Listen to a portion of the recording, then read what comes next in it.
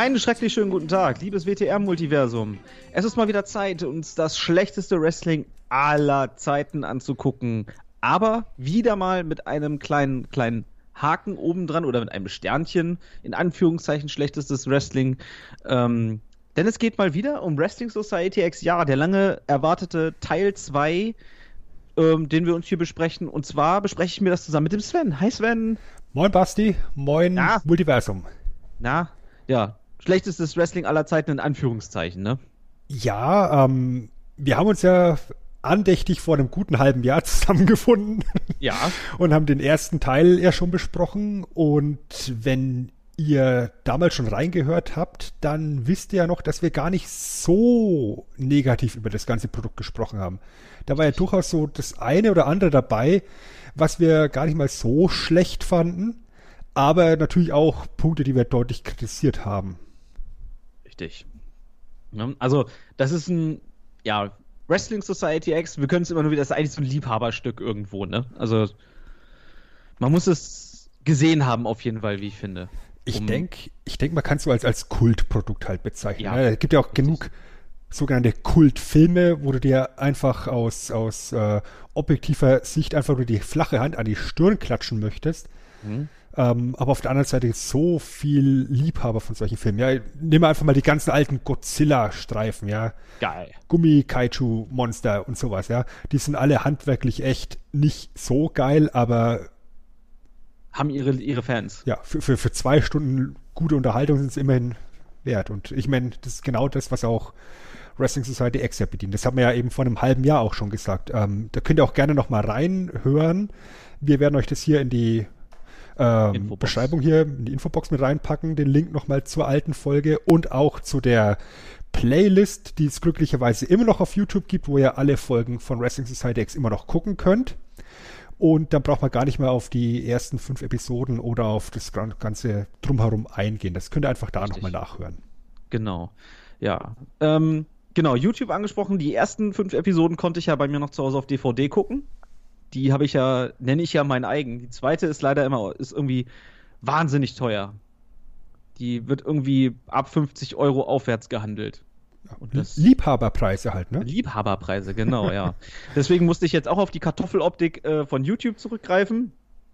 Ähm, ja, aber wie gesagt, damals war das halt der Shit an Bild, was du kriegen konntest. Ein 4 zu 3.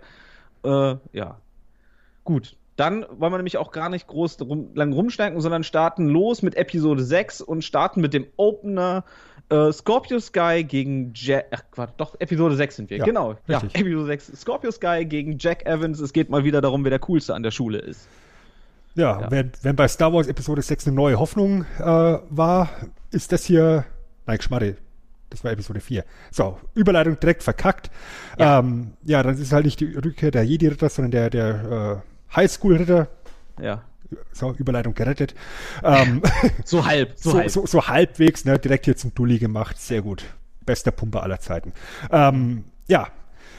Wir hatten es ja eben schon erwähnt, äh, Jack Evans, Scorpio Sky, Matt Seidel ist so eine Dreiergeschichte, alle drei mit diesen, mit diesen äh, ja, Highschool-Scheiß-Gimmicks. Ja. Ähm, ist halt hier ein Spot-Match. Ja. Scorpio Sky kommt halt hier rein mit seinen Highschool-Trophäen, wie immer noch. Mhm. Und äh, Jack Evans kommt halt rein mit seinem ganzen. Ja, du hattest es beim letzten Mal noch gemeint, Jack Evans ist so der, der, der coole Typ, der hinter der Turnhalle raucht. Genau. Ähm, ja, genau so tritt er hier halt auf. Ähm, und es ist ein kurzes Drei-Minuten-Match halt auch wieder mit viel Spots. Spot, Spot, Spot, Spot, Spot. Ähm, ja. Ja. Was man, was man vielleicht bei diesem Match, das, also was mir am, am meisten natürlich aufgefallen ist, äh, müssen wir vielleicht erstmal noch erwähnen, da es ja jedes Mal eine Band gibt, die oder einen Künstler, Interpreten, was auch immer, der sich ans Kommentatorenpult setzt. Hier kennt man sie sogar mal. Good Charlotte. Richtig. Der, wer von der ganz jungen Generation diese Band nicht mehr kennt, da habt ihr echt was verpasst. Das ist so, ja, aufkommend in den 90ern gewesen mit Blink 182 und hast du nicht gesehen, dieser ganze New Punk Amerika-Krams, das war zu Zeiten von ähm, American Pie der Shit. Genau. Eigentlich. Und so ziemlich jeder Interpret wird auch am Anfang von den Kommentatoren gefragt, bist mhm. du eigentlich Wrestling-Fan? Und dann sind es natürlich alle immer schon alle. seit ihrer Kindheit Wrestling-Fan. Und ähm, dann werden dann immer so die Lieblingswrestler genannt, die dann natürlich auch 1A in das Wrestling Society X Produkt reinpassen würden. Hier der Macho Man, der Undertaker. ja. Ich glaube, in, in, in Episode 7 oder 8 wird Ivan Putski genannt. Ja, da komme ich später ja, noch Mit zu. seinem ja, Polish ja, Hammer ja. würde da wunderbar reinpassen. Ähm, sinnigerweise tatsächlich mit Matt Classic, ne? Das, das Ja, würde tatsächlich Match- passen. Das wäre echt sehr schön eigentlich, ja. ähm, Ähm, aber- was noch, ja. Aber was, was, ich, was, ich, was ich auch ganz witzig finde, ist, ähm, wenn es dann, wenn's dann irgendwie reinkommt, sagen, also wir haben jetzt hier voll Bock, Wrestling zu sehen, wir sind riesengroße Wrestling-Fans, wir lieben es, wenn Leute irgendwo runterspringen. Ja, Ja. da kriegen sie eine ganze Menge davon. Das Oh ja. ähm, und wenn man mal drauf achtet, in diesem Match, das ist mir, glaube ich, hier zum allerersten Mal aufgefallen, ähm, den Referee kennt den ein oder andere. Ich habe mir es erst gedacht, nicht, nicht richtig erkannt, weil es halt diese Kartoffeloptik ist. Und ich habe mich dann überlegt, war der da vorher schon mit dabei? Rick Knox. Sagt mir nichts. Das ist der Ref von, ähm, von äh, Pro Wrestling Guerrilla. Dieser mit der Glatze, der mit dem Armschoner antritt.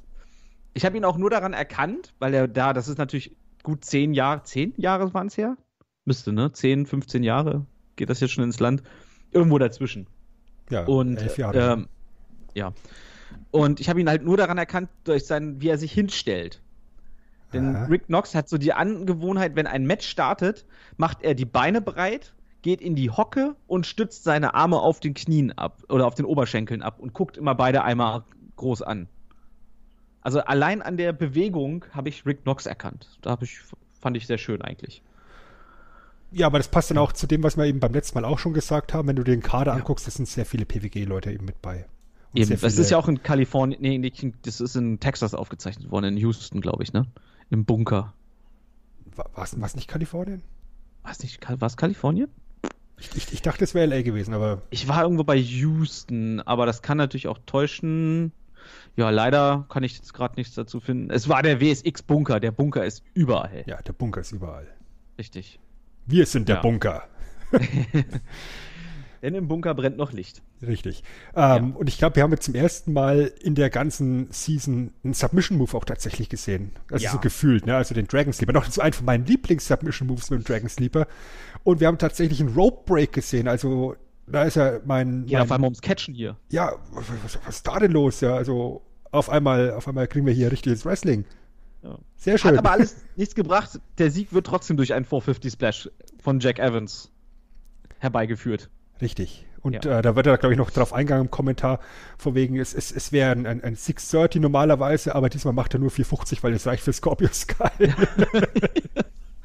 Ja, weil aber eigentlich müsste er ja gerade da eigentlich den auspacken, weil ist ja ähm, Scorpio Sky ist ja sozusagen der der Schulstreber. Ne? Eigentlich ja, müsste ja. er gegen ihn mehr zeigen. Aber okay, Jack Evans ist zu cool dafür halt einfach, ne? Ja. Ja. Wenn, ihr, wenn ihr das hier jetzt gerade frisch hört, wenn, wenn, die, wenn die Sendung rauskommt, dann habt ihr vielleicht auch schon Scorpio Sky vergangene Woche noch, noch beim Final Battle gesehen. ja. Denn der Mann Worauf- hat seinen 15. Frühling. Absolut, also mit SU over as fuck aktuell. Weil er war ja auch da schon dem Zeitpunkt schon nicht mehr mal ansatzweise in der Highschool. Ja, also, da war er ja schon, ging er schon Mitte 20 irgendwo, ne? Eigentlich müsste er gewesen sein. Er ist ja Mhm. jetzt Mitte, Mitte, Mitte, Ende 30. Ja, ja. Ja, ne? Also, da sieht man, das ist schon einiges an Zeit ins Land gegangen. Und ja, ansonsten können wir eigentlich weitergehen direkt zum nächsten Segment, denn unser Lieblings-Tag-Team, Aaron Aguilera und Chaos, die sich ja in den ersten fünf Episoden nicht ganz so grün waren immer, ähm, ja, treffen auch hinten, hinten Backstage zusammen und Aaron Aguilera hat einen komplett neuen Plan geschmiedet, wie die beiden besser zusammenarbeiten können. Denn Chaos muss sich einfach viel mehr um die Mamacitas und die Cervezas kümmern. Richtig. Scheiß aufs Wrestling, scheiß auf den Richtig. Erfolg. Focus on the Mamacitas. Ja. Und Chaos findet das gar nicht so geil. Und dann äh, hat Aaron ihm, glaube ich, gesagt, so, ne, pass auf, wir machen das jetzt so, so und so und so. Und nächste Woche haben wir dann ein Match. Und dann wird das auch alles besser funktionieren. Aber jetzt kümmerst du dich erstmal um die Frauen. Darauf Um die kann es sich Witz- einlassen. Genau. Und zwar die beiden Frauen von, ähm, wer Disco war da? Disco Machine. Und Disco Machine, genau. Ja. Und die beiden beschließen, das packen wir. Beziehungsweise Chaos macht das jetzt erstmal. Richtig. Genau. Pre-Match Warm-Up sozusagen. Richtig, genau. Wie, wie Batze halt auch damals mit Melina. Ja, genau. Ah. Erinnert sich nicht keiner noch dran. Eben. Ja. Super. Okay, kommen wir weiter. Und zwar haben wir dann Disco Machine in Action. Und zwar That 70s Dream tritt an gegen DIFH. Warte mal, ganz kurz, da haben wir noch ein anderes Segment backstage, nämlich Jimmy Jacobs. Ähm, Ach, ja. Wie, wie er seine, seine Augen schminkt, sein Eyeliner auflegt und, und wird noch hin unterlegt wie so, Jimmy, das ist Jimmy Jacobs und er wrestelt kein Match ohne seinen Eyeliner, er zieht einen Strich und ohne ein bis auf seinem Quizno Sub Sandwich genommen zu haben. Und er beißt einmal kurz in das Sandwich. Sehr mhm. schön Product Placement. naja, immerhin. Also ja. Sponsoren hatten sie. Ja. Also ganz Wie er doch so blöd in die Kamera halt reinlächelt so. Hm, dieses Sandwich mag ich sehr lecker. Sehr nom, gerne. Nom, nom, nom, nom, nom, nom. ja, ich weiß, ich habe gerade nicht mal verkehrt, wofür D-I-F-H steht. Do it for her. Her, ja. Da war's. Do it for her, genau. Ja. Wer auch sie immer ist. Ja, im Zweifelsfall Lacey, ne? Möglich, ja. Oder wer auch immer gerade die Dame der Wahl in dem, in dem Match war. Ja, ist richtig. Ja, Jimmy Jacobs und Tyler Black. Tyler Black kennt man. Auf jeden Fall. Das auf jeden Fall. Der gute ja, so Mr. Rollins. Genau. Der, der, der Seth Rollins hier schon damals im ersten, in seinem ersten TV, also vor, war das noch vor Ring of Honor sogar, oder? Das war noch vor Ring of Honor tatsächlich, ja.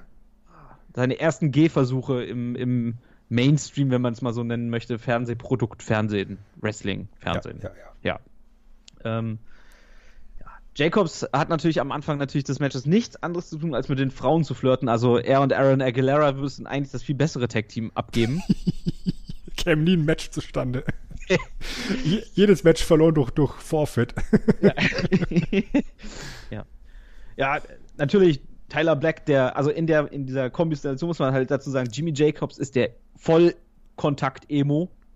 Ja, und Tyler Black ist der, der Metal-Typ der an der Schule eigentlich immer die schwarzen T-Shirts anhatte mit, mit äh, Slayer drauf.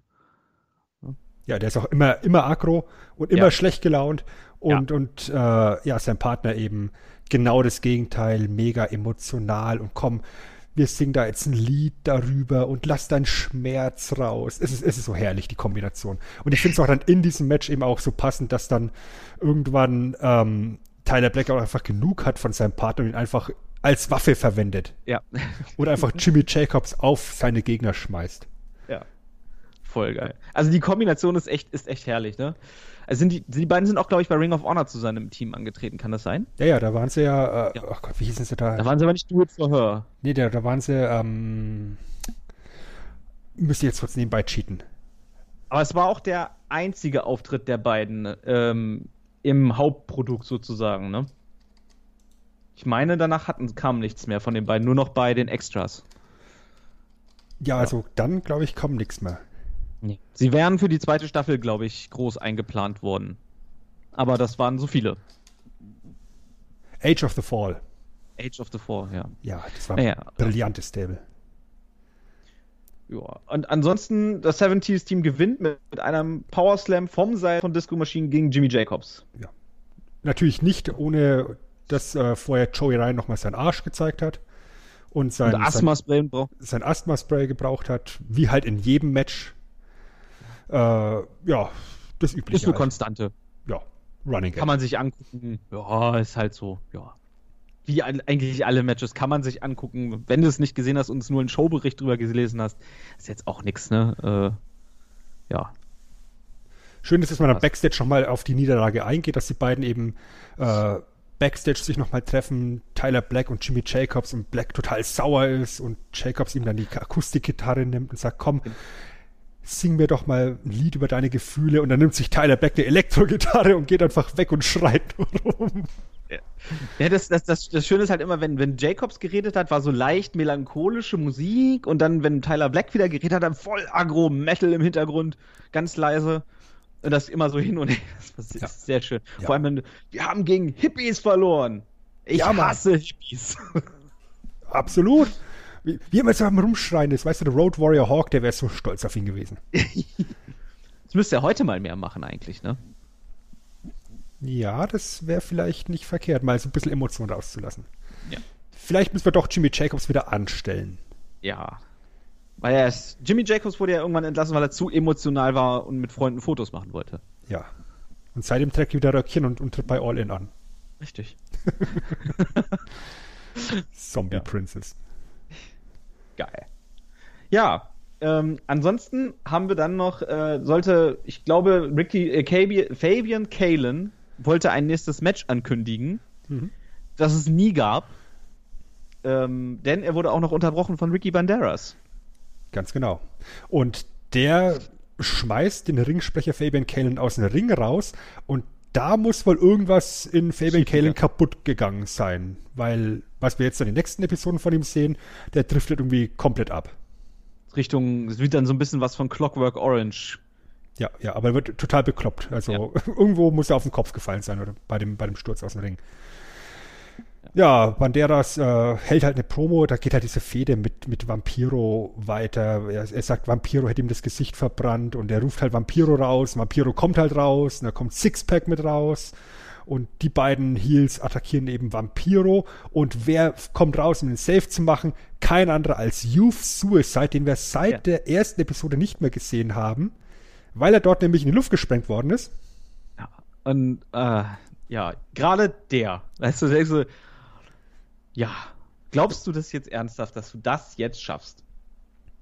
Ja, weißt du, er kommt und, und, die, und die Kommentatoren so, ja, Youth Suicide kommt, um den Safe zu machen, äh, doch nicht, weil er kassiert direkt einen Spear. Ja. ja, während sich Vampiro und Sixpack ein bisschen prügeln, ähm, wird Youth Suicide von Ricky Banderas verschleppt und auf einmal sind die beiden oben auf dem Balkon und ja, Youth Suicide äh, stirbt das zweite Mal in der Staffel, weil der gute Ricky Banderas ihn von dem Balkon runterwirft und In eine seltsamerweise explosive Box. Natürlich, aber sel seltsamerweise ist dann der ausführende derjenige, der aus dem Mund blutet. Ist richtig. Nein, nein, das, ist, das, das passt schon, weil wir haben ja auch bei, beim letzten Mal gesehen, er kann ja auch äh, Magiewellen abfeuern und deswegen darf er auch aus dem Mund bluten. Wobei man auch sagen muss, Youth Suicide hätte sich bei diesem Sturz vielleicht wahrscheinlich selber sogar wirklich fast getötet, denn so landen auf der Box war fast nicht. Da hat er nur mit dem Hinterkopf dran touchiert. Ja, Ja. ja. Äh, ich weiß nicht, ich habe von diesem Mann danach nie wieder irgendwas gehört. Du? Nö. Nee. War, auch der im Endeffekt. Wrestler? Also ich, ich, ich will es mal hoffen, dass er, dass er, dass er Wrestler war, dass er eine entsprechende Ausbildung hatte, ja. Ähm, aber Weil er wirkte auch echt nicht so wie irgend so einer. Ja gut, ich meine, das, auch das hatten wir jetzt äh, im ersten Teil ja schon angesprochen, dass da diverse Leute dabei waren, die halt den typischen Indie-Wrestler-Look haben. Okay, also jetzt gut zu halten, ich habe mal gerade nachgeguckt, er wurde von Nick Bockwinkel trainiert. Okay. Ja. Also war bei XPW wohl ganz oft unterwegs. Ja. Ansonsten, ich glaube, mal gucken, ich gucke gerade mal, wann sein. Oh, er hat dieses Jahr tatsächlich ein Match bestritten. Hui. Uiuiui. Ist es Aber- dieser, dieser André war da? Ja, genau. Mit Homeless, Homeless Jimmy und der Hellware Assassin besiegen BC Killer und Andrew Verdun. Andrew. Verdun. The, The Homeless Assassins ist auch ein geiler Name. Nee, Homeless, äh, nee, nee, Homeless Jimmy und Hellware Assassin. ja, aber die, die, der Tag-Name ist The Homeless Assassins.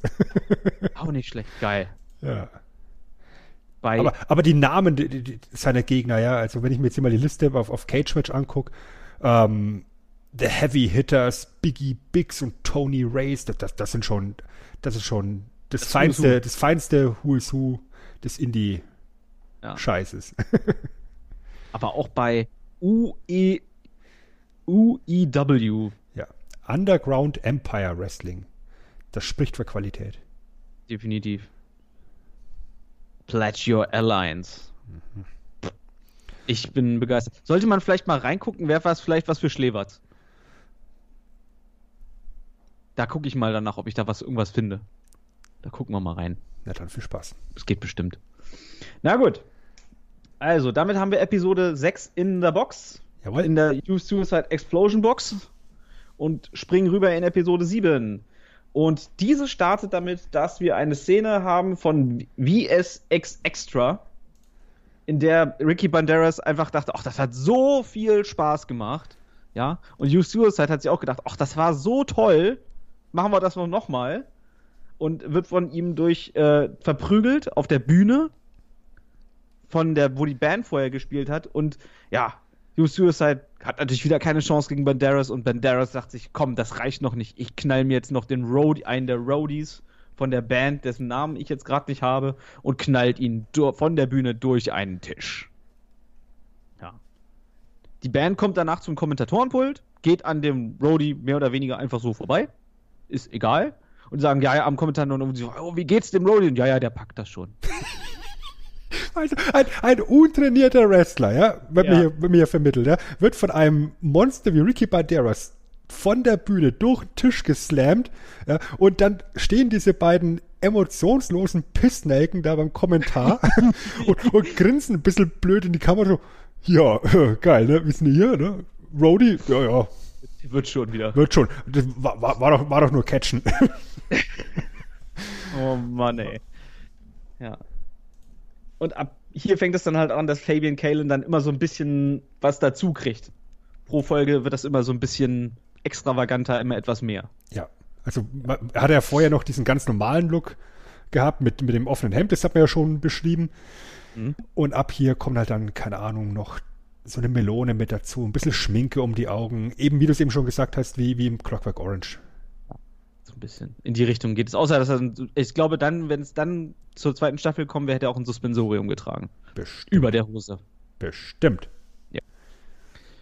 Gut, äh, kommen wir zu äh, dann jetzt einer äh, Fehde, die sozusagen in Folge 5 ge- äh, angefangen hat. Und zwar ist dort das Kartell aufgetaucht. Und die treten an gegen Eric Cannon, den sie dort, äh, ja, einbetoniert haben. Den Kopf. Und, und einen Fisch auf ihn draufgelegt hatten. Genau, weil er ist ja bei den, weil das heißt ja bei den Italienern, dass, sie mit dem, dass er mit den Fischen schwimmt. Richtig. Das haben wir ja gelernt. Was es bei den Spaniern heißt, wissen wir noch nicht. Das wissen wir noch nicht. Aber äh, ja. Und Eric Cannon hat natürlich sich Verstärkung geholt und einen Tag-Team-Partner dabei. Ja, Vic Grimes.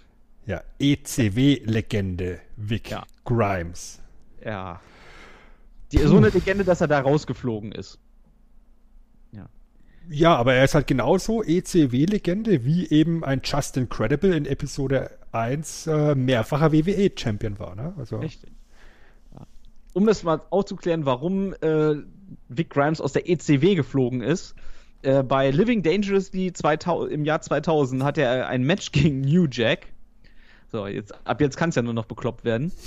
Die beiden hatten eine Misscommunication und beide sind von einem 20 Fuß Scaffold runtergefallen auf Beton. New Jack hat sich da irgendwie massive Gehirnschäden da wohl durch erlitten. Was einiges erklären würde. Und war temporär auch blind. Hm. Ja. Und war aus ein paar Monate raus und dafür wurde Grimes entlassen. ja, ist, ist natürlich auch eine, eine, eine tolle Idee, so, so ein Brocken wie ein Vic Grimes auf den Scaffold hochzuschicken. Ne? Aber, Ja, das ist absolut. Wer auf die Idee gekommen ist, ja, Chapeau. Ja, also, also wenn ihr Vic Grimes nicht kennt, Vic Grimes ist hier ein Typ, der, der ist äh, relativ groß, ja, aber halt noch viel, viel runder. Also Fett. legit über 400 Pfund. Ja. Ähm, am Kommentar wird es halt in Richtung 500 aufgespielt, aber ich glaube, ab 400 macht es da keinen großen Unterschied mehr. Und er ist so schwer und massig, wenn er Moves ausführt, Oh wackelt Gott. die ganze Halle. Ja, das, das müsste doch wieder was für dich gewesen sein, Basti. Shaky Cam und so. Ja, ich liebe Shaky Cams. Aber auch wirklich mit jedem Move, aber komischerweise immer nur dann, wenn er Moves ausführt, aber wenn er sozusagen zum Beispiel vom Ringrand auf den Hallenboden fällt, dann passiert das nicht. Ja, natürlich nicht, weil nur Vic Grimes den Special Vic Grimes Faktor in seine Moves mit reinpacken kann, wenn er es bewusst ausführt. um das jetzt mal so verdeutlichen, wenn, ähm, um sich das noch was so da vorzustellen, stellt euch mal in den 90er Jahren Earthquake vor oder Ende der 80er Earthquake gegen Hulk Hogan. Und jedes Mal, wenn, äh, wenn Earthquake den Earthquake Splash äh, ansetzen würde, ne, mit dem Rumspringen vom, um den Kopf einmal des Gegners herum. Und man würde dabei die ganze Zeit die Kamera wackeln lassen. So sieht das aus. Also Oder sozusagen ein Earthquake-Match auf dem 2018er Raw. Richtig. Genau. Oder wie zum Beispiel, äh, das war ja eine ganze Zeit lang bei der WWE auch in Mode. Ne? Props gehen raus an, an äh, na, wie heißt er nochmal? Äh, Kevin. an den Kevin. Der Kevin Dunn, genau, an Kevin Dunn, der diese wunderbare Idee hatte. Ich weiß nicht, das war, glaube ich, The Rock gegen Triple H, wo die beiden auf, der, auf dem Kommentatorenpult lagen und Triple H hat äh, The Rock verprügelt, also hat ne, hier Mounted Position und auf ihn eingeschlagen und die Kamera dabei immer gewackelt hat, wenn er getroffen hat. Ja. ja das ja. gab's auch bei der WWE, ne? Also. Ja, naja. Und man muss ja von den Besten lernen, ne? Also. Ja. Das gibt's auch in genug äh, Hochdollar prämierten Hollywood-Produktionen. Das ist, kann Eben. ja nicht schlecht sein. Richtig. Also es ist eigentlich fast. Also es kann gut aussehen, ja aber es kann halt auch unfassbar scheiße sein, wenn man es inflationär benutzt. Ja. ja. Aber wie gesagt, Und bei sowas wie Wrestling macht es halt keinen Sinn. Ja, aber es ist schon lustig. Also wenn ja, es ist ein Gimmick halt. Wenn, wenn, hier, wenn hier Vic Grimes den Ring, die Halle, alle, die ganze Welt zum Beben bringt mit seinen Aktionen, das, das ist schon witzig. Ja. Nur das Publikum hat nicht gewackelt. Das die waren. Keine, das sind ja keine Bobbleheads. Ja, gut. Und ich meine, im Endeffekt ist dieses Match auch nicht der Rede wert. Solange Vic Grimes im Ring ist, hat keiner eine Chance. Nur taggt halt irgendwann Eric Cannon ein und ab dann geht's halt bergab. Und, bis, äh, bis eine maskierte Frau ja. sich einmischt. Deren Name eigentlich niemals gesagt wird. Richtig. Wozu ähm, auch? Haben sie, haben sie nicht irgendwie in, in, in einer der, der, Extras oder in der Folge. Habe ich nie gesehen. Also ich, ganz ehrlich, ich habe mir die Extras jetzt nicht mehr angeguckt. Ich glaube, sie haben sie als Nick Grimes dann bezeichnet. Wow. Ja, also Vic und Nick. Wow. Ja, es wäre wohl irgendwie Verwandtschaft von ihm. Weißt du, wer sich unter der Maske verborgen hat? Äh, nee, habe ich jetzt gerade auch nicht. Das ist Sarah Del Rey. Okay. Ja, also, wir haben, wir haben den ersten talentierten Worker an der Stelle im Ring.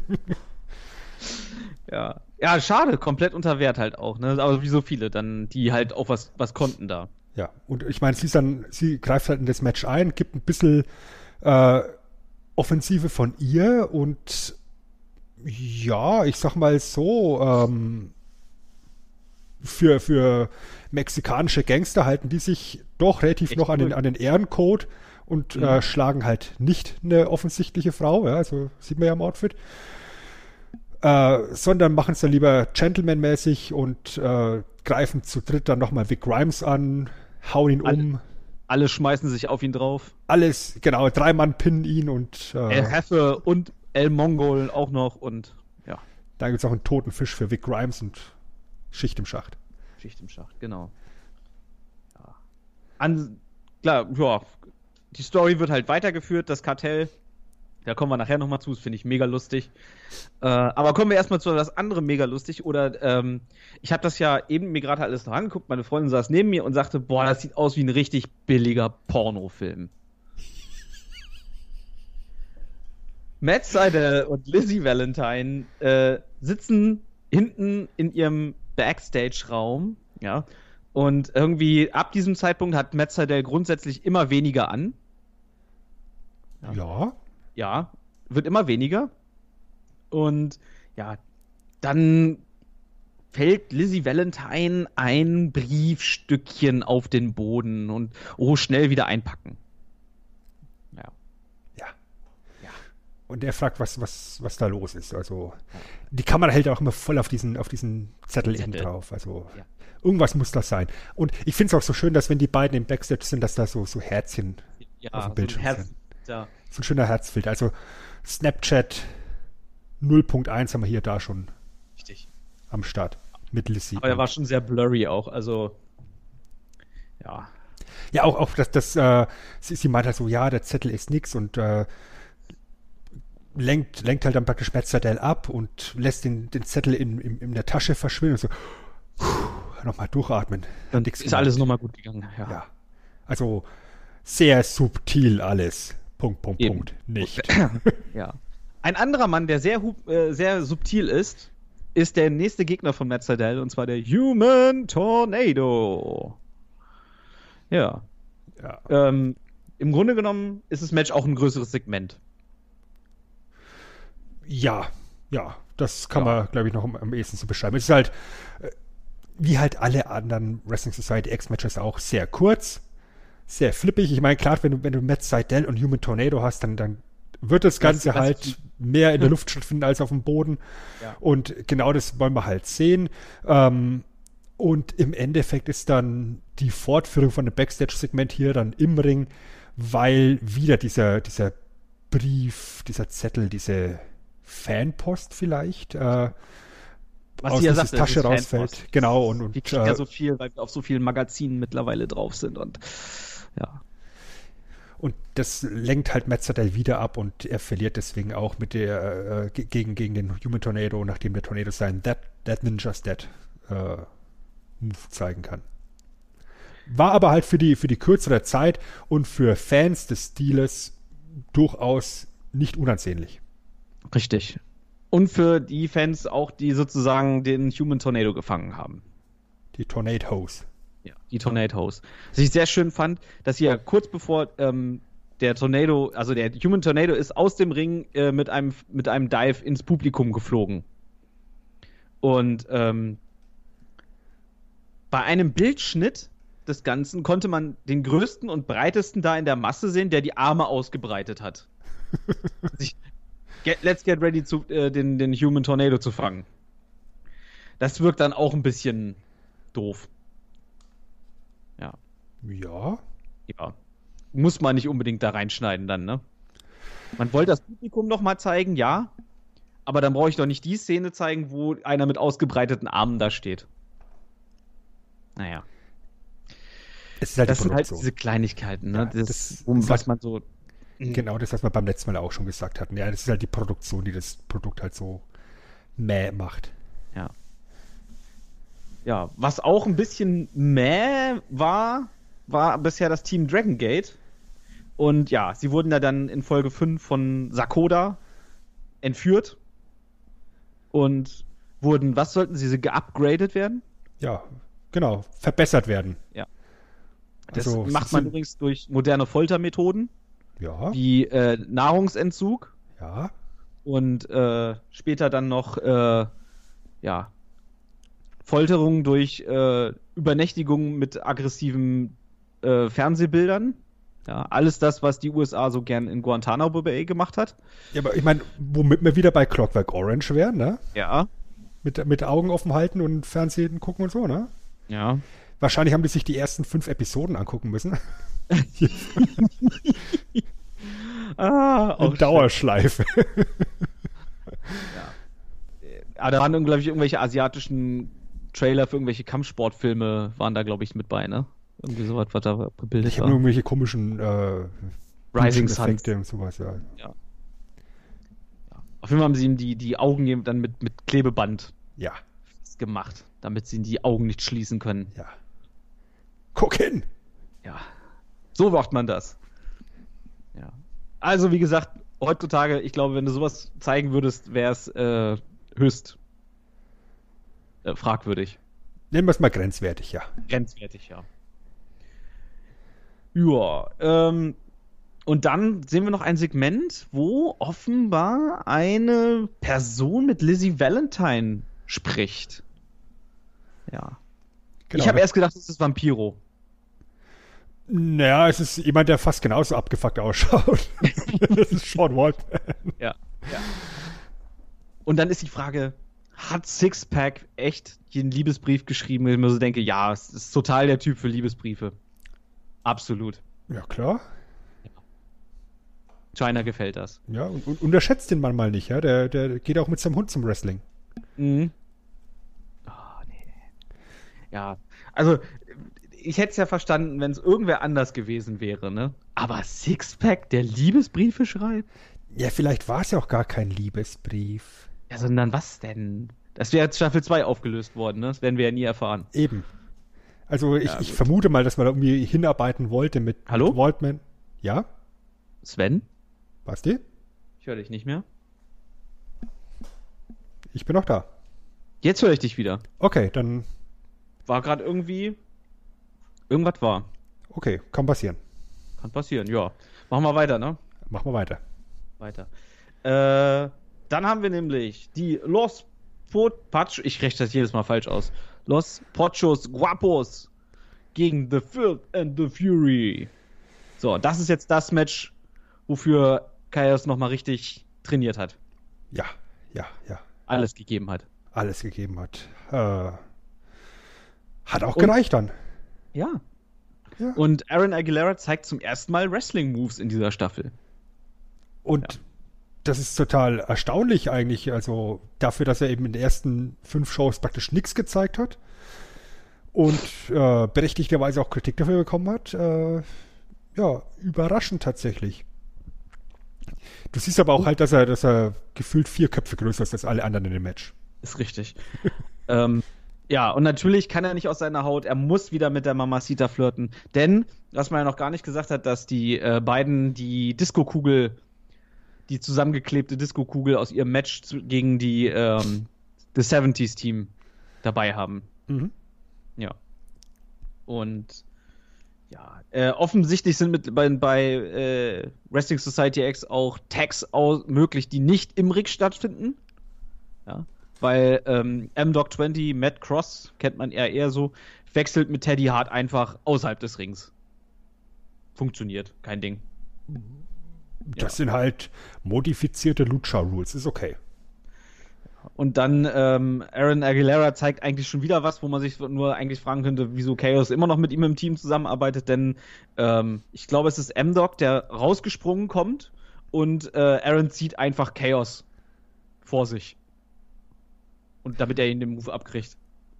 Ja. Ja, man muss halt aber auch mal einen fürs Team nehmen. Ähm, es ist natürlich hier auch wieder ein Teddy Hart mit dem Match, der halt auch nicht aus seiner Teddy Hart Haut, Haut rauskommt, der unbedingt einen Moonsault vom Kommandatorenpult runter machen muss. Ja, also Aus drei Metern Höhe. locker. Das Übliche halt und, Und dann. du hast halt eben auch schon erwähnt, dass, dass man diese, diese Disco-Kugel eben geklaut hat von, von Disco-Maschinen und dass die dann halt im Endeffekt das matchentscheidende Element ist, weil Chaos diese Disco-Kugel äh, Matt Cross zuwirft und äh, Big Boot. direkt ein Big Boot hinterher setzt, genau, und, und dadurch, dass, dass äh, das Ding dann explodiert, ist Matt Cross so abgelenkt, dass er eben gepinnt werden kann von Chaos. Ja. Jo. Erster großer Sieg für die, oder der erste Sieg überhaupt der beiden, ne? Ja, das ist der erste Sieg für die beiden und äh, grundsätzlich eben auch, wir hatten es ja in in der ersten Sendung auch erwähnt, sowas wie der rote Faden durch die ganze Staffel, eben dieses Team, Chaos und und Aguilera. Und es scheint tatsächlich so Und zu sein, dass, dass, äh, sich hinterher auch noch versöhnt dann. ja, dass, dass Aguilera halt tatsächlich recht hatte, ne? Oh, jetzt Hier. habe ich dich gerade kurz wieder nicht gehört, glaube ich. Bist du noch da? Ja. Okay. Ja, ich bin noch da. Okay, Gut. gut. Ja. Ja, gab die Versöhnung hinterher noch, ne? Ja. Gut. So, Dann Episode haben wir auch einen. Haken hinter Episode 7 eigentlich, ne? Mhm. Sven? Ja. Jetzt höre ich dich wieder. Warst du. Ja. Wir haben gerade irgendwie scheinbar so ein kleines Problemchen, ne? So, so ein bisschen zickt das Netz gerade rum. Ja. Aber wir machen halt einfach weiter. Solange es noch geht, Hat- machen wir weiter. Solange es noch geht, machen wir alles weiter. Die kommen böse Störungen. Ich bin ja nicht so weit weg von Jan. Die kommen böse Vibes rüber. Das ist gar nicht gut. Ja. Burger, Finger weg. Das war ein Insider. Weiter. Ich höre dich wieder nicht. Hörst Jetzt höre ich jetzt? dich wieder. Jetzt höre ich dich wieder. Okay. Das lassen wir alles drin, liebe Leute. Das ist nämlich, äh, der schlechteste Podcast aller Zeiten. Richtig. Schleepatz. Ja, hier steht übrigens auch bei mir, ähm, steht bei mir schlechte Netzwerkverbindung beim Skype. Ja, Ja. Nicht schön. das nicht schön. Jetzt ist es weg. Mal gucken, was da was dabei rauskommt. Ich, ich behalte das mal im Auge. Gut. Steht das bei dir auch? nee, bei mir ist alles gut. Dann nichts an mir scheinbar. Wie immer halt. Wie gesagt, hier kommen böse Vibes, Vibes aus dem Osten rüber. Ja. Pfui, pfui, pfui. Pfui, pfui, pfui. Machen wir erstmal mit Episode 8 weiter und haben hier auch wieder einen relativ bekannten Interpreten mit am Kommentatorenpult, nämlich Pitbull. den man von so tollen Einfallsreichen, die dann mit Ring da Ding und hast du nicht gesehen und lalala kennt, was vor ein paar Jahren echt erfolgreich war. Ja. Weiß ich, dieser, dieser Typ, der bei WrestleMania schon ein paar Themes Ja. beigesteuert hatte? Durfte. Aha, Ja. geil. Und. Er sagt, wurde gefragt, wie, ob er denn ein großer Wrestling-Fan wäre, natürlich. Und er sagt, ja, absolut. Das werden wir dann nochmal drauf im Match, folgenden Match sprechen kommen, beziehungsweise ja. Äh, doch, Match, genau. Denn äh, Aguilera und Chaos sind im Ring und fordern das Kartell, denn diese wurden von Kartell nach ihrem Sieg gegen The Filth und The Fury beim Verlassen der Halle angegriffen. Ja. Auch wieder hier schön abgefertigt, toten Fisch drauf. Ja. Und das passt den beiden Jungs natürlich nicht, fordern das Kartell raus. Und naja, erstaunlicherweise ähm, ist der, der, ganze, der ganze Aufwind, den sie hatten, hier direkt wieder verpufft, weil die ganze Tag Team Chemie irgendwie schon wieder nicht funktioniert. Also äh, Chaos wrestelt gefühlt alles, gibt einen Hot Tag zu Aguilera, der eine Aktion oder zwei Aktionen bringt und dann direkt hier wieder äh, Chaos zurück einwechselt. Der ist aber immer noch total platt und Ja. wird dem, dementsprechend auch sofort abgefertigt. Und äh, am Kommentar fragen die ähm, Kommentatoren Pitbull, ähm, äh, was, Moment, was, auf die Frage, was äh, schon mal jemanden gesehen hat, der so groß und agil ist, genau, auf Bezug auf Aguilera, antwortet Pitbull, ich habe keine Ahnung, was hier los ist. Größter Wrestling-Fan aller Zeiten. Ja. Super. Ja, gut, Kartell gewinnt. Und wir werden dann das Ganze dann noch einem späteren Zeitpunkt besprechen und da wird's richtig geil. Dann wird's den beiden. ja mega. Ja. Und ja, wir sehen danach, es gibt Stress. Und zwar äh, Luke Hawks und Alcatraz sind auch mal wieder da. Mhm. Und die, ja, kriegen ein bisschen Beef mit Vic Grimes und äh, mit Eric Cannon und der Dame oder dann halt Nick Grimes. Ja. Das Ganze läuft dann auf ein Match zwischen den beiden hinaus. Ja. Und Lacey. Ja. Lacey durfte, ach so, genau, das habe ich mir nämlich noch aufgeschrieben, denn in Episode 6 sollte, wurde nämlich, haben die Kommentatoren gesagt, wir haben Lacey draußen, am, äh, draußen vor der Halle stehen und sie wartet auf Vampiro. Ne, Sie wird, er wird nicht an ihr vorbeikommen und sie wird einen Kom Exklusivkommentar von ihm auf einmal verlangen. Jetzt ist sie endlich wieder in der Halle angekommen. ja. Und Lacey ist dann im Backstage mit Jack Evans und Jack Evans zeigt ihr seine coolen Dance-Moves, nämlich den Handstand, wo er versucht, ihr unter Rock zu gucken. Ja. Der Typ. alte Stelzbock. Und dann kommt natürlich unsere Sven? wandelnde. Basti? Sven, jetzt wieder da? Ja, ich bin da. Jetzt, ja, jetzt, jetzt höre ich dich wieder. Ja. Was hast du denn zuletzt? Äh, ja, wie gesagt, dann kommt der Human Tornado mit dazu und äh, sagt, pass mal auf, wir äh, beide machen Dance-Off, weil ich bin viel geiler auf dem Dancefloor als du. Das ist erstmal eine Ansage auf jeden Fall. Ne? Ja. Also, will gezeigt werden. Ja, Jack Evans und Human Tornado, Dance-Off. Geil. Kriegen wir, kriegen wir leider nicht zu sehen in den Hauptshows. Nein, leider nicht. Leider nicht. Aber was wir bekommen, ist ein Titelmatch. Richtig. Und zwar Vampiro gegen Banderas um den WSX-Title. Und das Besondere, am Ring sind zwei Särge. zwei. Zwei. Einer ist explodierend und an dem anderen ist Stacheldraht und Explosion. Sehr schön. Ja, der nur mit Explosion ist ja auch nicht interessant eigentlich. Nee, nee, also Stacheldraht muss schon noch. Also, Also ich schon, alles ist besser mit Stacheldraht. Eben. Und das Match startet mit wildem Gebrawle draußen und hab mir dann kurz aufgeschrieben, es fehlt komplett die Intensität. Bis zu diesem Zeitpunkt. Denn irgendwie war es nur so ein bisschen Gekloppe irgendwie, wo man sich so dachte, hä, wenn die beiden sich doch jetzt so hassen, dass sie den anderen am liebsten umbringen würden, dann ein bisschen mehr Schmackes mal bitte. Nein, denn das Ganze wurde unterbrochen von einem Teaser. Und zwar zum, Von- Dream, zum Team Dragon Gate. Genau, dass die dann nächste Woche bei WS äh, hier bei Wrestling Society Extra antreten werden. Ich mir so denke, wa? Wieso? Ihr Ja. baut das jetzt in den Hauptschuss auf, dass sie hier umprogrammiert werden und zu Killermaschinen umfunktioniert werden und dann tauchen die nur bei Extra auf oder was? Und das müsst ihr uns jetzt auch noch in einem Titelmatch in der Zwischenzeit verkaufen. Ja, kann man doch so machen. Den Main Event der, der in Anführungszeichen Hauptshow unterbrechen ja. durch, ein Werbe, äh, durch eine Werbeeinblendung fürs Bonusprogramm. Ja. Wo was auch sowieso kein platzieren. Schwein, was sowieso kein Schwein guckt. Tja. Oh, Aber Ja. man muss zumindest sagen, nach diesem, äh, nach diesem Werbeblock wird's besser. ja, da haben die beiden das nämlich Härter. auch gesehen und sich gedacht, oh, nee, die sind viel krasser jetzt. Jetzt müssen wir auch krasser werden. Ja. Light Tubes! Richtig. Alles Oh. ist besser als würden. Oh. ja, es gibt eine Powerbomb durch so ein Light Tube Table. Fans, Fans- chanten, please don't die. Ja, und vor allem Da Rücken ist zerstört. haben wahrscheinlich nicht mal ansatzweise eine Ahnung davon, was in diesen Leuchtstoffröhren eigentlich drin ist und so, oh, geil, hier direkt vor unserer Nase. Ja. Im wahrsten Sinne des Wortes. Tief einatmen. Richtig. Ja. Vampiros Rücken ist komplett zerschnitten und blutig. Ja, geht wieder zurück in den Ring, gibt einen Headbutt vom Vampiro. Du hast noch was vergessen, und zwar den Bump durch diese Konstruktion auf der, bei der Bühne.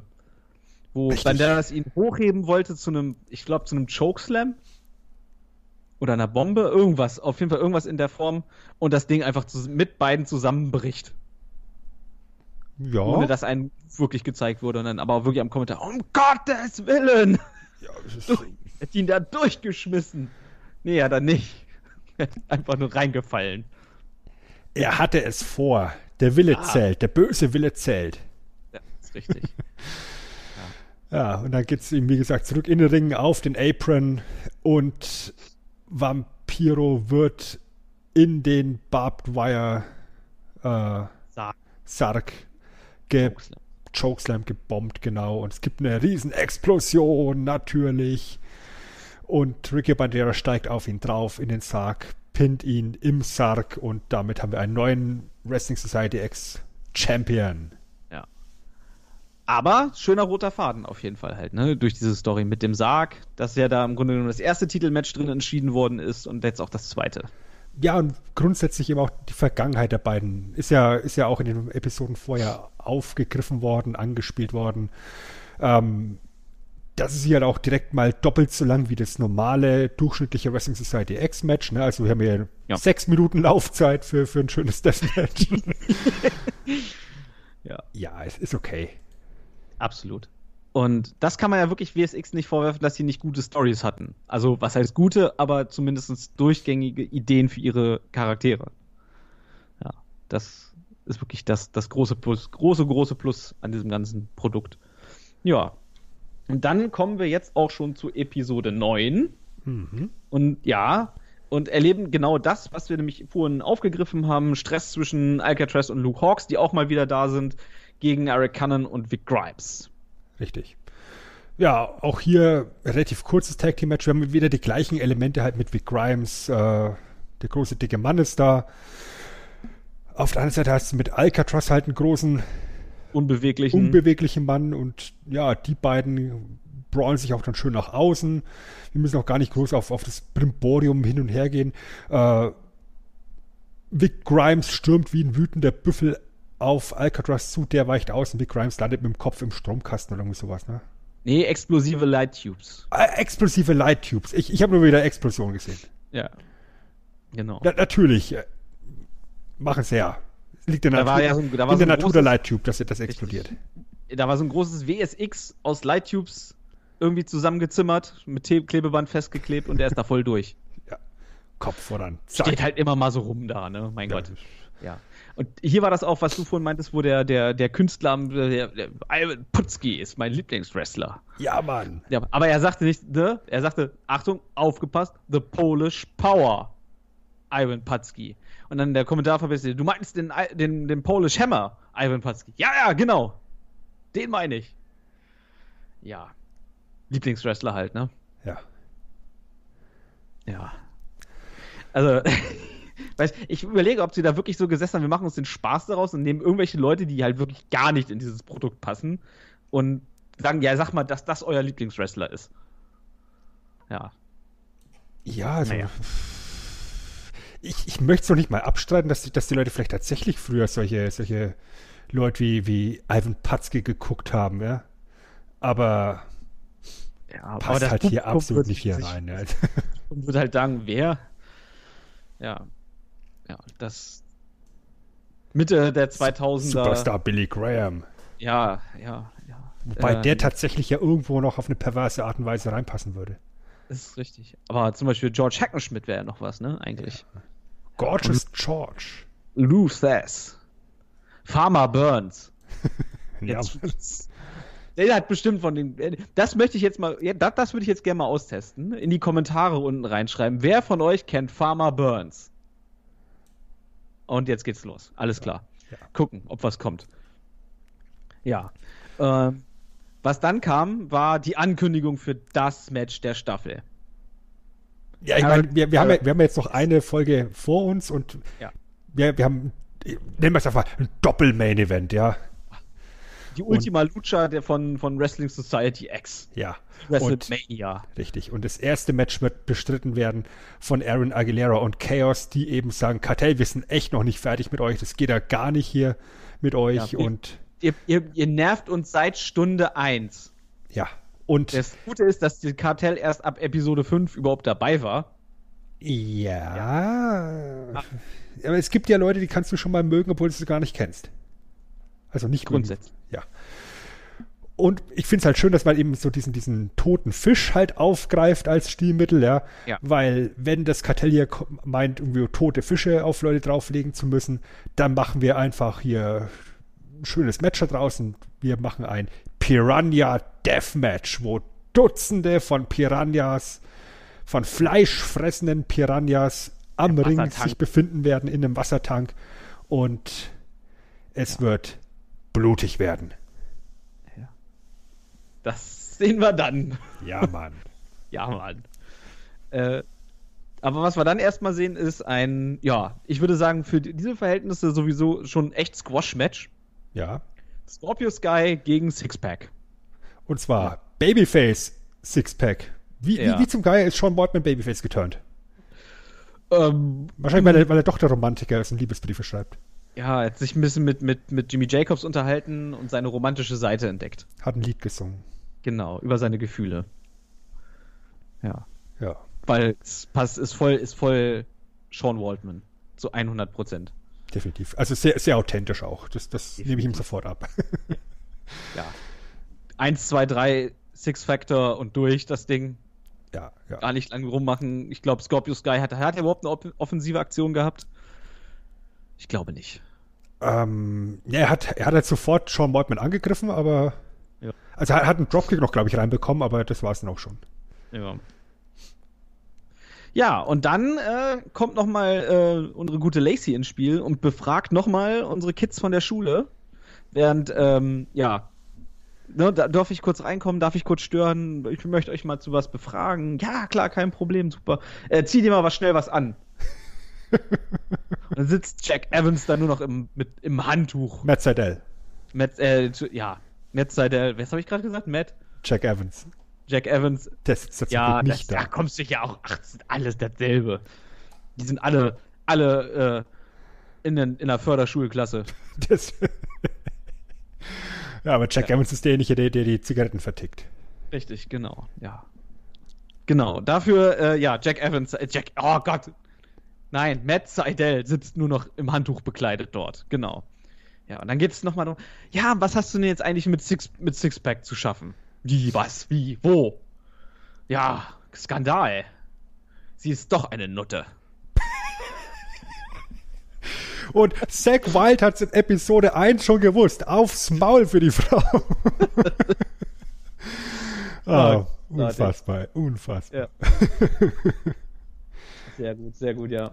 Ja, sehr schön. Ja. Aber Jack Evans haben wir dann direkt im nächsten Match. Genau, deswegen war ich wahrscheinlich auch da. Es gibt, nachdem, nachdem es kurz Einblendungen gab von den Bildern vom Dance-Off, an dem ja als Jury unter anderem auch Matt Classic dran teilgenommen hat, was ja, er sich wahrscheinlich gedacht hat, diese ganzen komischen Menschen, was tanzen die da? Das sind doch keine Standardtänze. Richtig. Damals hat man noch äh, hier so komische Brauchstänze irgendwie aufgeführt. Richtig. Als er noch da war, als er groß war. Naja. Und auf jeden Fall kommt es dann halt auch noch zum, zu einem Match der beiden. Äh, alle Matches bei der WSX, kann man dazu gesehen, gehen über 10 Minuten, haben ein Time Limit Draw von 10 Minuten. Wir haben noch was Wie vergessen. Wir haben, wir haben noch ja? was vergessen. Nämlich als die Herausforderung ausgesprochen worden ist, hat es damals geheißen, äh, du und ich, wir sehen uns in 15 Minuten dann im Ring. Ja? Nach sieben Minuten Sendezeit einer, einer 20 Minuten Episode. Sehr schön. Oh. Ja, sehr ja, schön. Geil. Gut aufgepasst, auf jeden Fall. Gut ja. aufgepasst. Ja, ja. Ähm, ja. Und diese Matches gehen halt alle über eine 10 Minuten Time Limit. Ja. Dieses Match ging gefühlt zwei Minuten und es war, endete in einem Time Limit Draw. Ja. Ja. Und dann das Publikum natürlich, wie es so sadistisch ist, will natürlich noch mehr. Und ja, ne, wir wollen hier Verlängerung und Overtime und Fabian Kalen sagt, ne. Ist aber auch ganz geil, weil, weil auch nicht irgendwie vom Ringrichter ein Statement ja. kommt, sondern weil einfach der, der Kampf abgeläutet wird, ne? Und Fabian ja. Kalen halt wie so ein Spacken im Seil hängt und blöd grinst und diabolisch grinst so, hehe, ich habe euch euer Match beendet. ja, weil es ja auch wiederholt wurde, das war das beste Match in der Geschichte von WSX.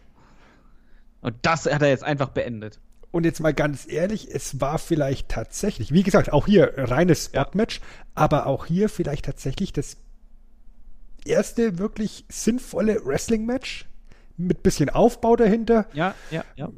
Tatsächlich so ein, zwei nette äh, Kontersequenzen. Auch hier wieder ein Dragon Sleeper mit rein. Ja.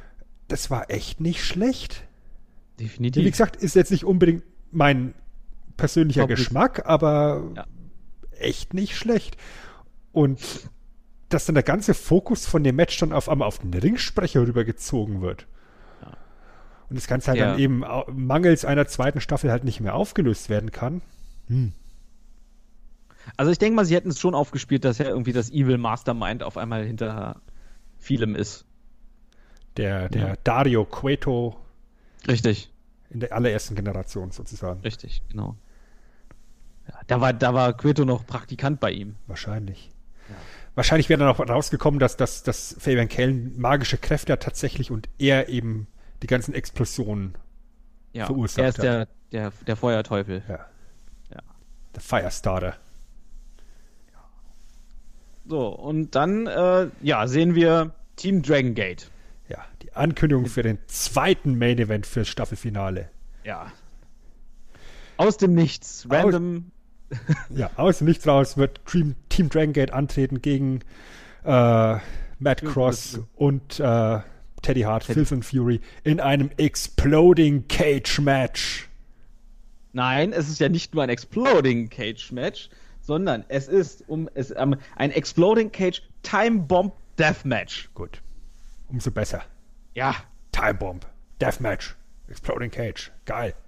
Geil. Will also ich zwei sehen. Death Matches in, in Episode 10. Richtig. Ja, äh, was heißt aus dem, aus dem Nichts, aber halt Team Drangate hat halt schon in der Vergangenheit gegen The, the Filth and the Fury verloren. Ja, aber halt nicht in den Hauptshows. Nee. Hauptshows in Anführungszeichen wieder, ne? Ja, ich glaube, das war die Niederlage wirklich bei Extras, ne? Das müsste bei Extra gewesen sein, ja. Ja. Ja. Deswegen packt man das Match in den Main Event des, des Staffelfinales. Ja, muss ja auch, weil danach hast du keinen Ring mehr, weil alles explodieren wird. Ja, stimmt. Ja. Ja. Genau. Und weil man den Käfig ja danach nochmal abbauen müsste. Richtig. Also da spart man sich echt äh, Arbeitszeit. Logistisch, ja. Das finde ich, find, find ich schon sinnvoll. Also wäre vielleicht auch was für, für WrestleMania.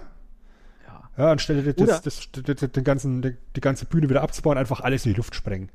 Richtig. Hat man ja schon bei WrestleMania, was war es, 24, ein paar Fans mit in die Luft gejagt äh, und angezündet. Hat man ja Erfahrung mit. Chikara kennt sich damit auch aus. Ja, so ein bisschen Schwund ist immer. Ja. Aber ähm, wahrscheinlich hat man sich, hatten sie bei der WSX dann einfach so gesagt, so Leute, wir haben es für Staffelfinale. Pass auf. Ein Exploding Cage, äh, Exploding Cage Time Bomb Deathmatch. Wer hat Bock? Und Teddy Hart hat äh, natürlich gesagt, hier, ich, ich will das. Ja, der, der wird wahrscheinlich gefragt haben, hängt die Time Bomb überm Ring? So, ja. Zehn Meter mindestens? Ja, mache ich. Kann ich hinspringen? Schaffe ich. mache ich, bin ich dabei. All in. Und Matt Cross dachte sich, ja. Oh, und Matt Cross dachte so, oh, der, der Spacken schon wieder, kann ich einfach mal die Fresse halten. Oh, ja. Also, kommen wir, ähm, wenn wir jetzt nichts mehr weiter haben, zu Episode 9. Nee, ich habe hier nichts mehr. Hast du noch was? Nein. Kommen wir zu der Folge, die niemals ausgestrahlt wurde. Ja, das Staffelfinale wurde nicht auf MTV übertragen. Sondern nur in online, bei den Sachen, wo du auch Extras gucken konntest und im, äh, ja, später im halt im DVD-Marktbereich. DVD Ja. Woanders konntest du diese Show nicht sehen. Ich kann mir auch Da kaum erklären, warum. Das war auch überragend, also ich bitte dich. Also wenn, ganz ehrlich, sie haben die zweite Hälfte äh, irgendwann Samstag nachts zwischen, was weiß ich, 22 und mit, Uhr und Mitternacht haben sie es auf MTV irgendwo hintereinander weg verwurstet. Ja, die hatten ja die ersten vier Episoden ja wöchentlich ausgestrahlt und dann Ja. irgendwann den, den, den Rest mit Ausnahme von Episode 10 am Stück. Weil sie einfach dann komplett aufgegeben hatten und gesagt haben, okay, äh. War ein Fehler, sorry, ähm, Haken Aber für die drei, drei Die Hard-Fans zeigen wir das jetzt noch. Genau. Euch da mal nichts vor. Aber warum zeigt man dann nicht jetzt auch noch das Finale? Wahrscheinlich war irgendeine, kam irgendeine hier äh, Folge dazwischen von Date My Mom. Ja, entweder das oder man hat einfach Schiss gehabt von wegen Piranha Deathmatch und Exploding Cage, Time Bomb Deathmatch. Vielleicht hat man echt irgendwie ein bisschen Schiss gehabt, dass da irgendwie Backlash gibt. Ja, ich weiß ja nicht, ob es bisher jetzt schon irgendwie wegen dem ganzen Explosionszeug schon gewaltig Pressedampf gegeben hat, weil ich wüsste jetzt nicht, dass es wirklich breit diskutiert wurde irgendwie. Ähm, das glaube ich nicht, aber im Zweifelsfall hättest du irgendwelche äh, übereifrigen Tierschützer gehabt, die sich über die Ja, armen, fleischfressenden, bösen, schlecht gelaunten Piranhas, die da, die da in, in, in, nicht ihrer natürlichen Umgebung aufge, äh, eingesetzt werden, ausgelassen hätten. ja. Ich vermute mal, dass irgend sowas gekommen wäre. Also ich meine, wir wissen ja, wie der, wie der gemeine Amerikaner tickt. Ja.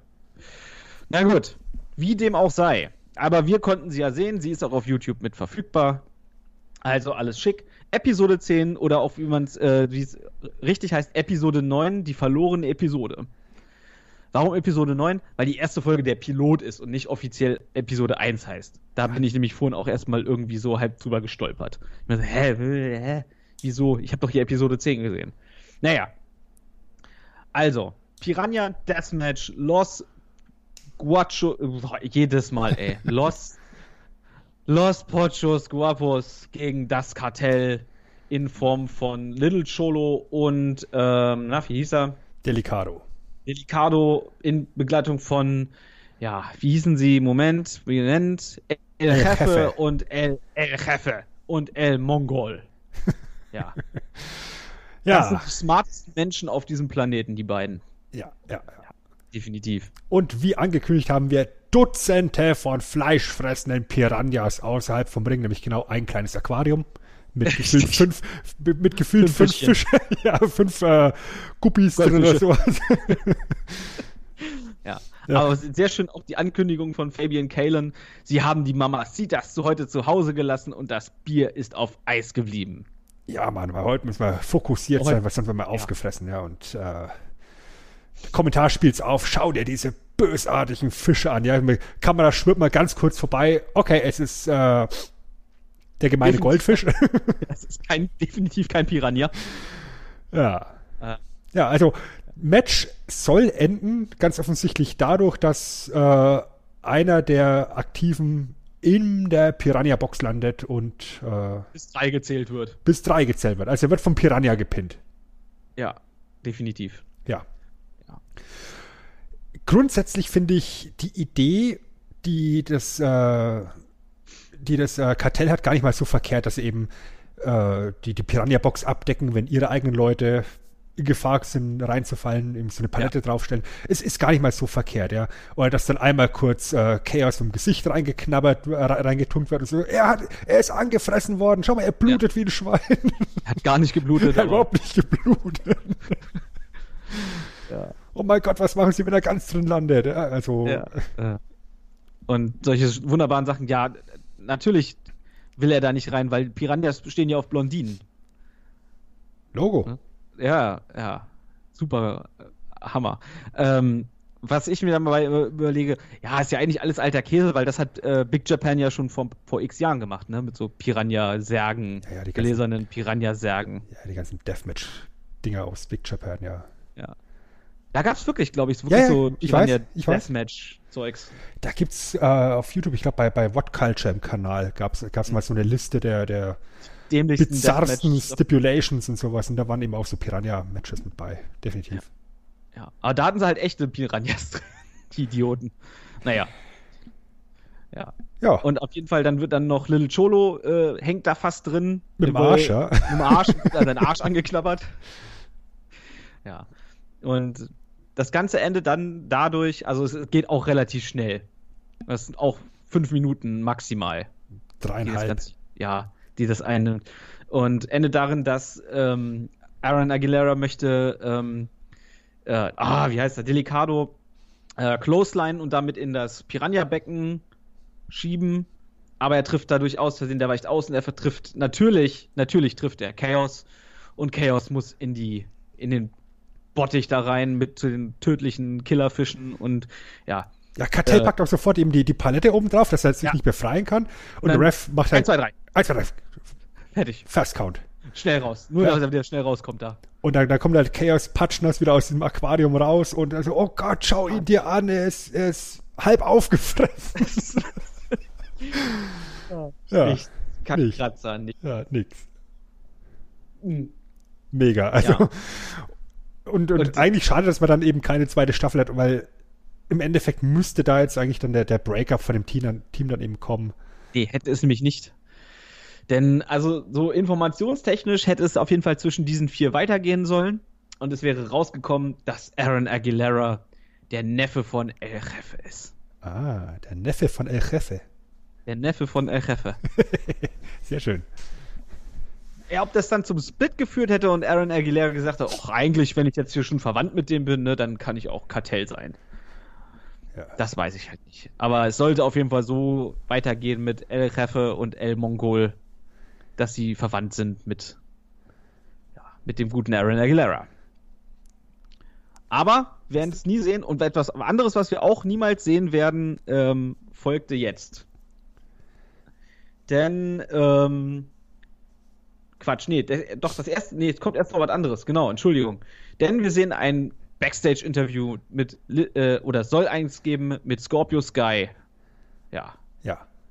Und da kommt Vampiro rein und, und unterbricht ihn und, und Scorpio Sky, ne, der Mann, der gerade von Sixpack äh, weggesquasht worden ist, reißt halt das Maul auf und sagt, was willst du eigentlich? Wer bist du eigentlich? Ne, ich hier bin Scorpio Sky, ich war der Geilste in der Highschool.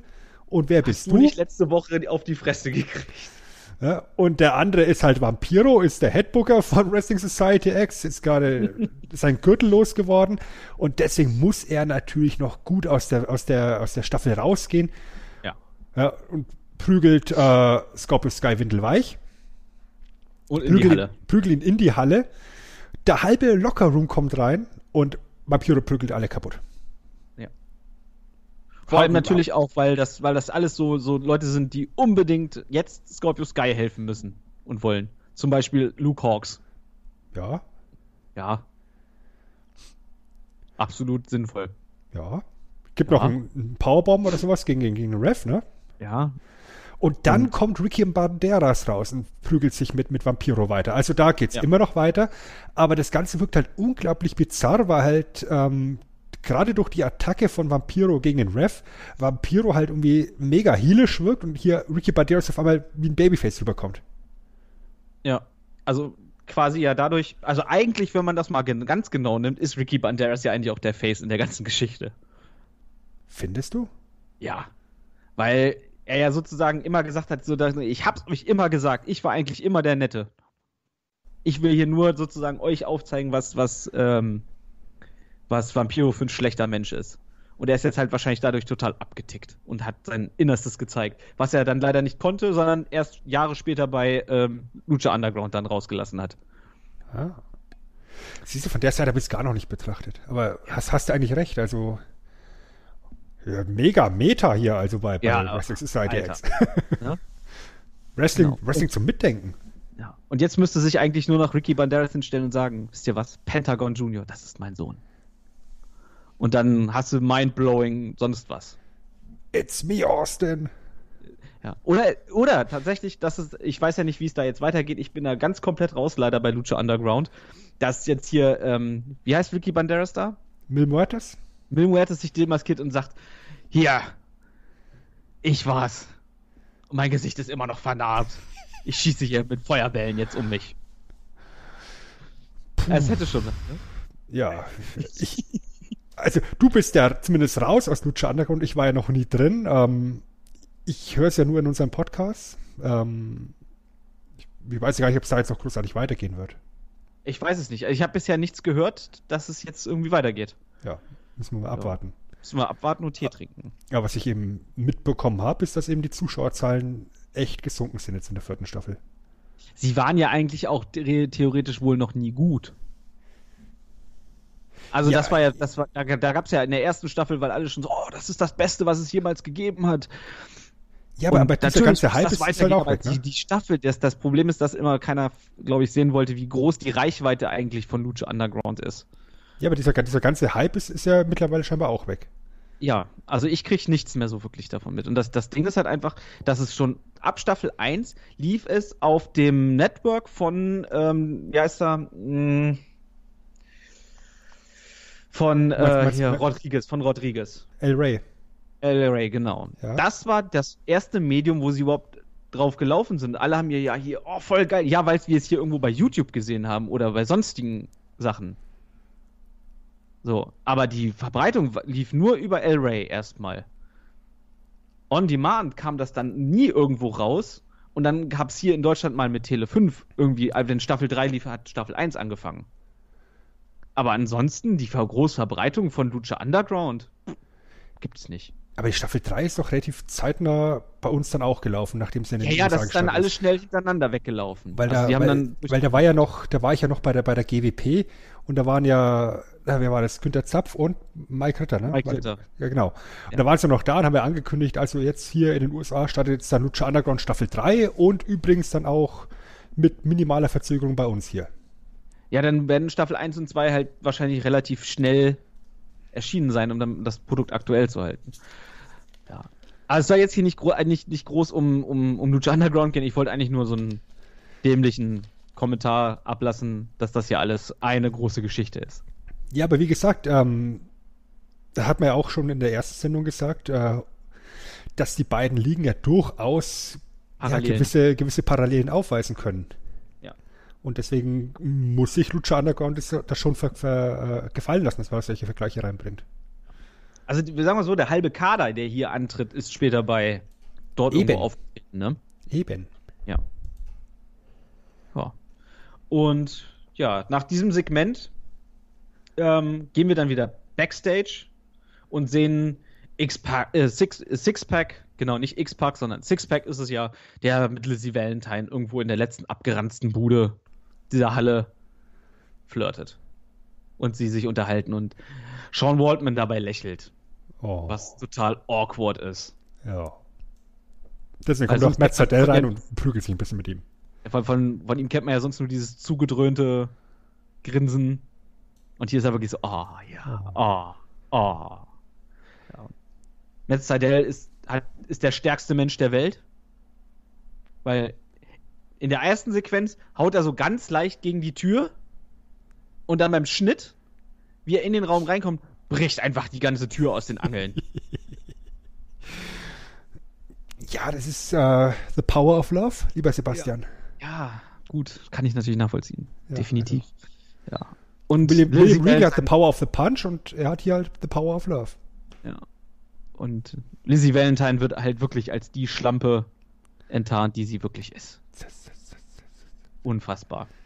Das, das, ja. Da tun sich Abgründe auf. Ja. Und ja, wir wissen leider, es wäre wahrscheinlich zu einer äh, Fehde zwischen Sixpack und Matt Seidel gekommen in Staffel 2. Die um, vielleicht gar nicht mal so schlecht gewesen wäre. Nö, wahrscheinlich nicht. Also, und dann wahrscheinlich um die Dienste von Lizzie Valentine. Mhm. Ja. Und am Schluss wäre wahrscheinlich rausgekommen, dass äh, sie gegen beide turnt und eigentlich dann mit Youth ja, Suicide. Mit Youth Suicide äh, rumhängt. Genau. Sehr schön. Ja. Aufgelöst. Ich habe mich nur überlegt, wenn was Sixpack in der Rolle für, für, für dann sozusagen, es ist ja alles diese Story um die coolsten von der Schule halt, ne? Ähm, welche Rolle da bei Sixpack ist er tatsächlich der Philosophielehrer? Ja, oder der, der komische, deutlich ältere Schüler, der fünfmal durchgefallen ist. Ah, der eigentlich nur noch da rumhängt auf dem, auf dem Schulhof, ne, obwohl er eigentlich gar nicht mehr da sein darf. Ja. Weil er genau. schon längst von der Schule geflogen ist. Richtig. Aber kein, seinem Leben nichts anderes anzufangen weiß. Und dann nur vielleicht ist auch der Hausmeister oder. Oder er ist derjenige, der äh, Jack Evans die Zigaretten verkauft. Ah. Ja. Und andere Dinge. Und andere, ja, ja. Ja. ja. Aber dann äh, kommt es noch zu dem, wo wir jetzt nämlich bei Jack Evans sind. Jack Evans und Human Tornado bekommen ein, Stand, ein Standoff. Richtig. Ja. Und sie bekommen ein Titelmatch zugesprochen, ja. um einen neuen Gürtel, der eingeführt werden soll, nämlich ein High Flyers Championship. Ja. Ja, äh, die beiden sollen das Ding auskämpfen, werden wir nie sehen. Nee. Schade. High Flyers Championship. Weil das wäre dann wahrscheinlich auch da, wäre dann Fabian Kalen irgendwie involviert gewesen. Mit Sicherheit. Oder, oder das Ding wäre nie aufgelöst worden, weil Fabian Kalen sagt, nee, so einen Scheiß brauchen wir nicht.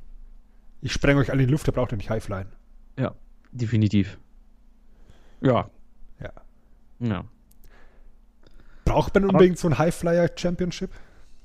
Da vielleicht ja, unbedingt, würde ich sagen, eigentlich, ne? Aber Meinst du, meinst du, es wäre sowas gewesen, so von der Idee her, ganz grob, wie der X-Division-Title? Ja. Dann war ich nämlich auch so irgendwie so am, am Denken, klar, X-Division-Title in der Richtung, aber Wertigkeit von ungefähr dem ähm, hier Never Open Weight Six-Man-Titel. Vermutlich, ja. Ja. So ein Wanderding, was alle eigentlich jede Woche irgendwo wechselt. Ja. Ja. Ich meine, hättest du auch genug Kandidaten gehabt. Tornado, Eben. Evans, Seidel, Sixpack hättest du auch noch mit reinpacken können. Dann die, die beiden Leute von, von, von, von, äh, Phil Van Fury. Ja, hast, hast mehr als genug. Dann hast ja. du noch, theoretisch kannst du einen Ari da auch noch mit reinhauen. Vic Grimes.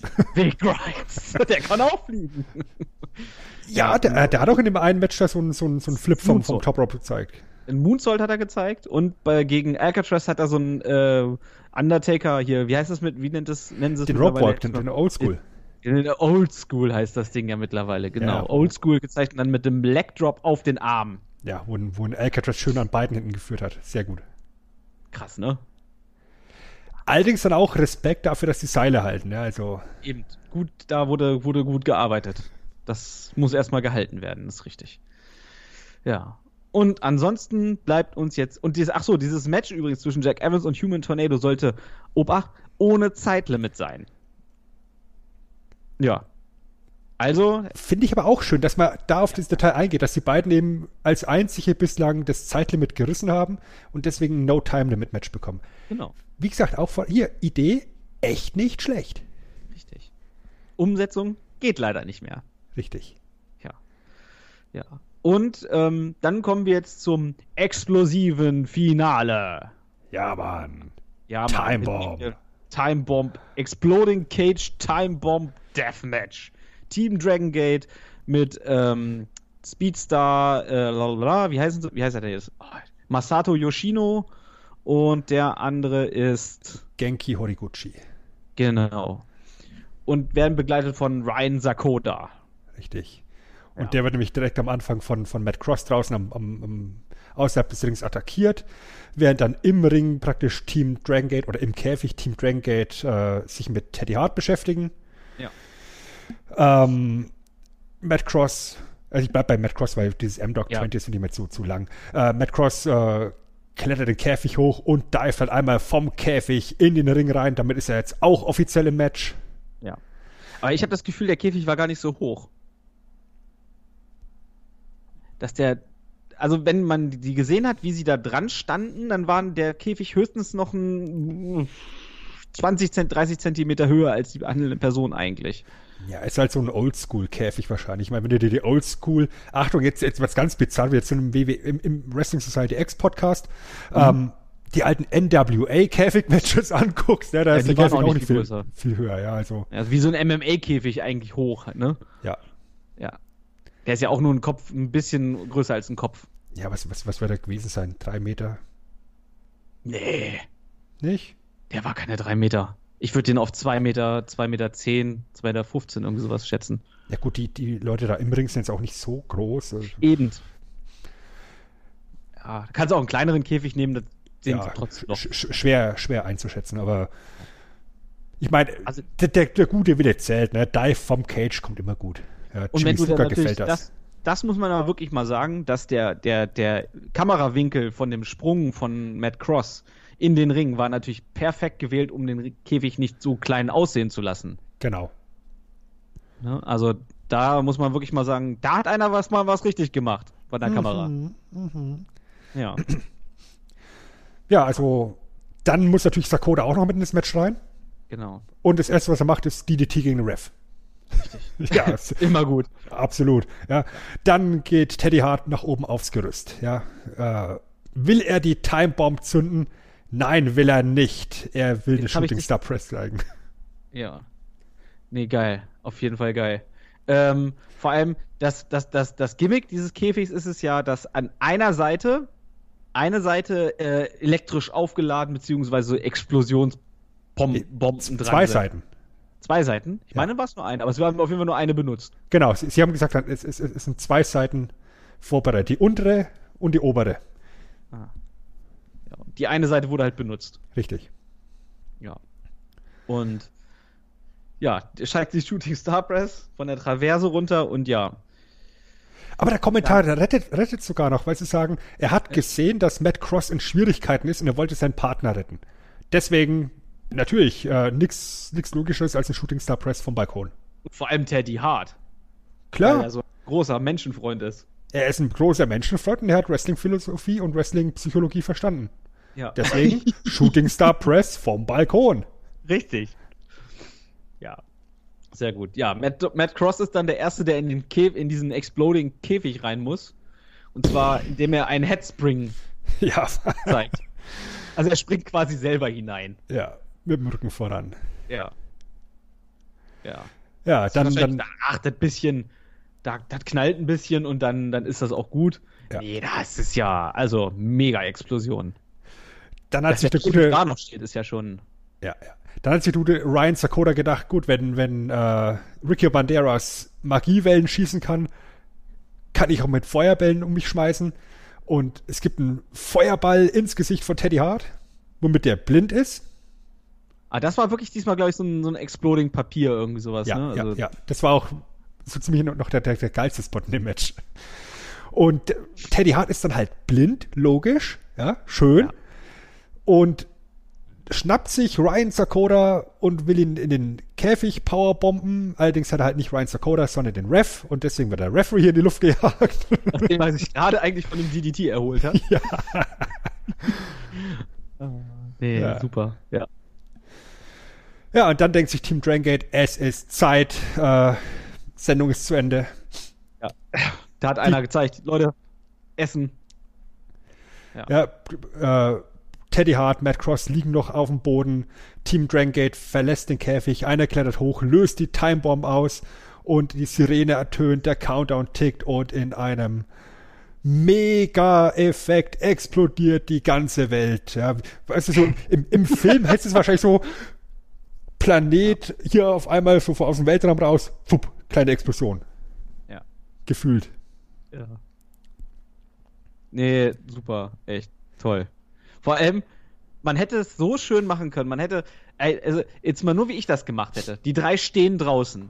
In der Mitte steht Sakoda, Horiguchi und, und Masato Yoshino links und rechts flankieren ihn. Hinter ihnen explodiert der Käfig. Ende. Und die drei gehen einfach weg. Gehen einfach weg dann. Fertig. Ja, drehen sie nicht mal um, einfach, einfach so, so Badass-mäßig weggehen. Genau. Vielleicht was Zeitlupe, ja. Ah, noch besser. Und was macht die Kamera? Sie zeigt Teddy Hart in Großaufnahme. Ja. nichts hat.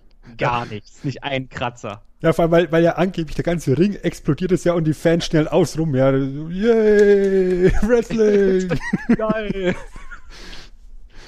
Ja. Ich habe ich hab einen Review online gelesen, da ist das Ganze verglichen worden mit einem Roadrunner und Coyote Sp äh, Spot. Ja. Und im Endeffekt, genau das trifft es irgendwo auch ziemlich gut. Weißt du, beim, da, da hast du halt auch irgendwie so alle Gesetze der Physik außer Kraft gesetzt. Ja, der, der, der, der Coyote steht auf dem, auf dem, auf dem Brett und sägt ab und der ganze Berg fällt runter und das Brett bleibt in der Luft. Keine Ahnung, ja. So, so, so, so ein Käse ist es halt hier. Ähm, aber ich meine, was willst du auch groß machen? Ja? Und wir müssen jetzt mal auch ganz ehrlich an, anerkennen, wenn du dir IWA Japan anguckst, ne? King of the Deathmatch von 94, wo Terry Funk und Cactus Jack im Finale stehen in einem Barbed Wire Exploding Ring Deathmatch. Da sind die Effekte auch nicht viel anders. ist richtig. Gut, da ist nicht CGI, aber, da, da heißt auch hier, der Ring wird explodieren. Und wenn du dir die, ja. die Biografie durchliest von Mick Foley, der hat halt keine Ahnung, wie er das einschätzen soll. Und äh, dann ist halt auch nur so, so ein kleiner Furz, der da hochgeht. Ja. Gefühlt, ja, also. Ja, aber ich, ich, wie gesagt, also ich, dann hätte ich so, wenn du sagst, okay, ne, du hast, wie ich es jetzt beschrieben habe, ne, die drei reiten in den Sonnenuntergang, die Welt ist explodiert und Ende. Und du würdest sagen, okay, dann kann ich das sogar, ist es mir sogar scheißegal, dass es nur eine Staffel gegeben hat, weil es ja logisch erklärt ist, dass alles explodiert ist. Siehst du, wenn es dann nicht Sakoda wäre, sondern Masachono, der hätte wahrscheinlich noch schnell die ja. Sonnenbrille aufgesetzt und weggehen. Ja. Aber der war wahrscheinlich einfach zu teuer für den Scheiß. Wahrscheinlich. Das, für den Scheiß komme ich nicht rüber. Das wäre aber so, so, ein supergeiler, so ein supergeiler Moment, weißt du, wenn, wenn Chono sich einfach umdreht, Sonnenbrille rausholt, aufsetzt und weggeht. Mega. Aber vielleicht wollten sie ja auch äh, Masachono haben. Und dann angerufen, ja, wir haben hier ein super tolles Konzept.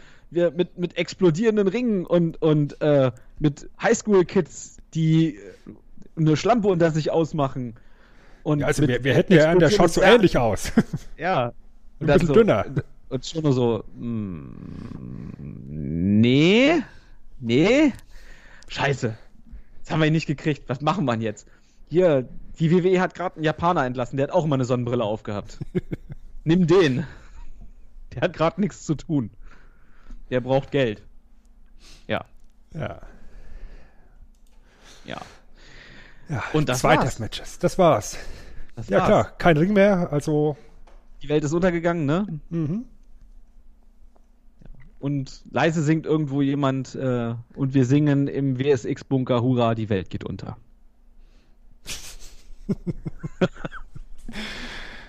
ja, das war's. Ja. Eine Staffel, ja, Komm, mach mal einfach so ein, so ein Fazit auf die ganze Staffel. Ja? Wir hatten es ja, wir hatten es ja so ein Zwischenfazit nach, nach genau. den ersten fünf, fünf, Episoden auch gemacht. Ähm, ich bleib einfach dabei. Ähm, das Wrestling, was wir da sehen, ist jetzt für mich persönlich eben nicht mein persönlicher Geschmack, ja, weil ich ja eben so ein bisschen das traditionelle Wrestling gut finde. Wir hatten, das habe ich noch vorher gesehen, ähm, so ein bisschen negatives Feedback bekommen auf die erste Episode, weil wir eben gesagt haben, hier Wrestling Society X, schlechtestes Wrestling aller Zeiten. Da hat aber jemand offensichtlich die Sendung auch nicht gehört.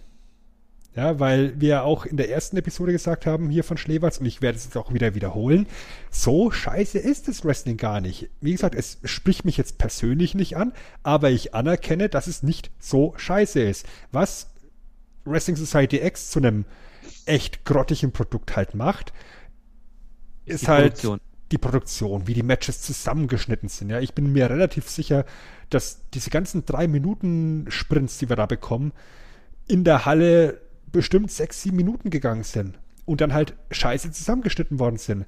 Und dann macht es halt das Ganze auch nicht besser, wenn dann der Ring wackelt, wenn äh, Vic Grimes, Grimes, eine Aktion zeigt, ja, oder, oder ja. wenn dann alles ständig explodiert. Ja, du bist halt komplett reizüberflutet. Und das ist das, was äh, das Produkt eben so, so grottig macht. Ja. Vom Wrestling her, okay, geht, geht, geht in Ordnung. Und ja, manche Sachen sind, sind echt gut tatsächlich, ja. Also der, die ganze Story mit Vampiro und Ricky Banderas, ja, verstehe ich auch, dass, dass, dass die beiden den Main Event bestreiten, im Endeffekt durch die ganze Staffel. Ja. Ja, absolut in Ordnung. Auch der rote Faden mit, äh, mit Chaos das, und Aguilera. Ja, super. Äh, Finde ich auch super. Also ich, ich, ich habe da an den beiden, gerade an den beiden hat das so ein bisschen wenn man jetzt sagen, nicht, wenn wir jetzt nicht drüber gesprochen hätten, ich hätte es mir damals, also als ich es damals gesehen habe, ich es geguckt, aber ich hätte es mir wahrscheinlich jetzt nicht nochmal angeguckt, selbst wenn ich es auf DVD jetzt zu Hause liegen habe. Ich habe es mir damals gekauft, weil ich dachte, oh ja, okay, cool, für einen Zehner nehme ich, kein Ding, will ich haben. Hab dann aber erst gedacht, ich hätte die ganze Staffel gehabt. Gut, egal, war nur die erste Hälfte. Aber ähm, ja, ansonsten, das ist halt so, so, so ein Element, was mich dann auch weiter gucken lässt. Weil ich dann irgendwo auch wissen möchte, wie geht es denn jetzt mit den beiden weiter? Kriegen sie die Kurve noch? Ja. Ja, oder, oder auch das Kartell. Die Ja. sind ja mehr oder weniger komplett jetzt ungeschlagen durch die Hauptshow gegangen. Richtig. Und sind ja unfassbar stark aufgebaut worden. Und äh, waren ja praktisch die Top, das Top-Heel-Stable. Richtig. Und Sie haben ja auch in der, in der Staffel jetzt darüber gesprochen, am Kommentar, dass äh, wir ja auch nicht mehr weit von Tag Team Champions entfernt sind. Und diese ganze Konstellation, Fist and the Fury, Team Dragon Gate, dann äh, das Kartell, äh, Aricon, Vic Grimes und, und auch eben halt äh, Gargilera und Chaos, das wäre eine mega Tag Team Division gewesen äh, in seinem kleinen Mikrokosmos. Wobei man sagen muss, was, was ich so ein kleines bisschen störend empfunden habe, tatsächlich war, dass Mhm. ja gefühlt jedes Tag-Team über weite Strecken der, der, der Staffel intern gestritten hat. Ja, also am, am offensichtlichsten eben Chaos und Aguilera. Aber wir haben auch bei Filth und Fury teilweise Unstimmigkeiten gesehen. Äh, Joey Ryan und, und Disco Machine sind aneinander geraten, teilweise, weil eben Joey Ryan, Joey Ryan Sachen macht. Äh, Ja, ja, das, das äh, war vielleicht an der Stelle so ein kleines bisschen viel, dass eben so viel Uneinigkeit ist. Ähm, aber grundsätzlich Talent hättest du da gehabt. Ja, auch dann mit diesem, mit diesem Highflyer-Gürtel. Haben wir ja gerade schon Ja. gesagt. Also da hättest du durchaus äh, Leitermatches und sonstiges haben können. ja, all möglichen Mist machen können, ja. Wir hatten es in der ersten, im ersten Podcast auch schon gesagt, Matt Classic ist halt echt schade, dass er es nicht geschafft hat, hier irgendwo in dieser Hauptsendung zu landen, sondern nur in den Extras gelaufen ist. Ja. Also so ein, so ein Matt, also jetzt mal in, in deren Terminus, so ein, so ein äh, für die zweite Staffel, als wenn Matt Classic da aufgetaucht wäre, sollte er ja eigentlich dann auch, also da sollte er definitiv dann eine Rolle spielen.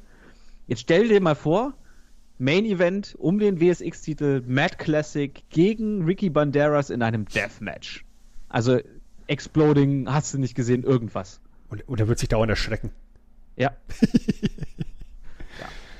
Ja. Also das, das, das hatte Der schon Clash schon durchaus geil. Potenzial. Ja. Ja, und ähm, Man Auch- muss halt auch- auch sagen, ja, das, was, was es halt auch wirklich war, falscher Zeitpunkt, falscher Ort. Ja, ja, ja. Also entweder hätte das Ganze ein ganzes Stück früher kommen müssen. Ja, also so um die, um die Jahrtausendwende. Oder ein ganzes Stück später. Also ein ganzes Stück später, vor allem Dingen für den Vertrieb. Ja. Das ist Gerade ganz Video eben, on Demand wäre das, glaube ich, Gold. ja. Ja.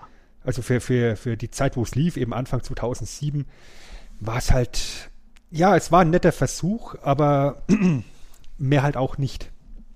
Da muss man auch wirklich sagen, dass auch programminhaltlich MTV zu diesem Zeitpunkt schon eigentlich scheintot war. Ja, es waren halt diese ganzen äh, Scripted Reality- Reality-Scheiß. ja, das hat man ja beim letzten Mal ja Mit auch schon Musik hatte besprochen. das nicht mehr viel zu tun. Nee, aber das äh, hatten sie ja schon zehn Jahre nicht mehr. Nee, nee. Aber wie gesagt, da war MTV auch schon fast tot eigentlich. Also sie sind ja mittlerweile, laufen sie ja, glaube ich, in Deutschland auch nur noch im Pay-TV. Mhm. soweit ich weiß.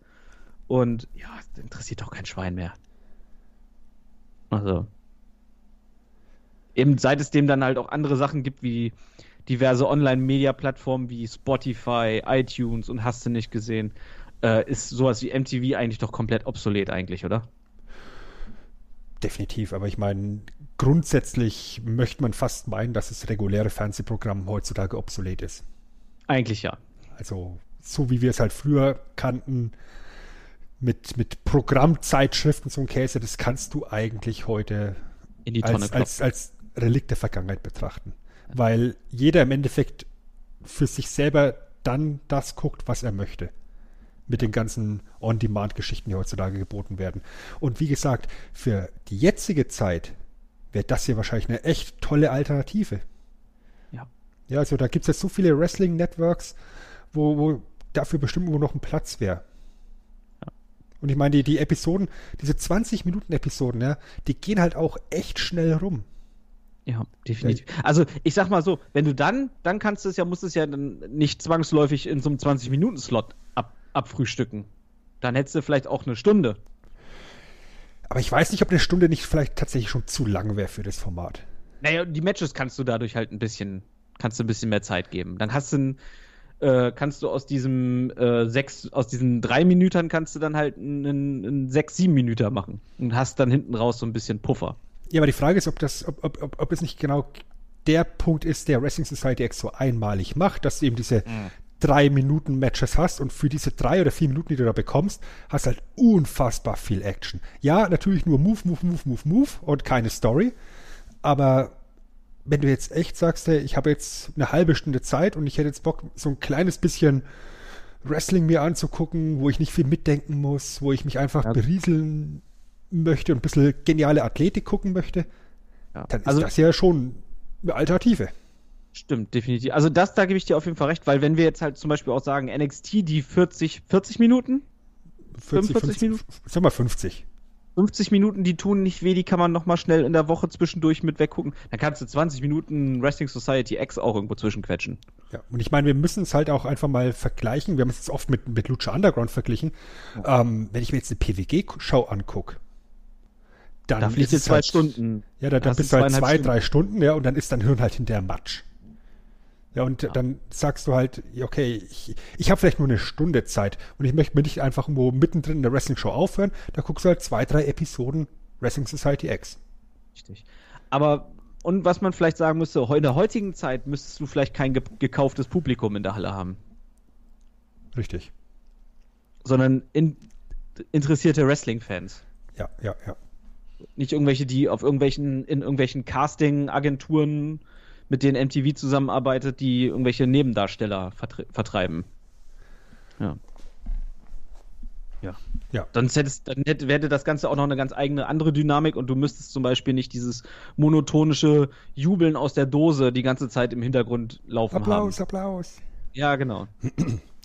Ja, aber grundsätzlich ähm, finde find ich halt schon, dass das Produkt heraussticht. Ja, also es ist sehr actiongeladen, es ist sehr schnelles Wrestling.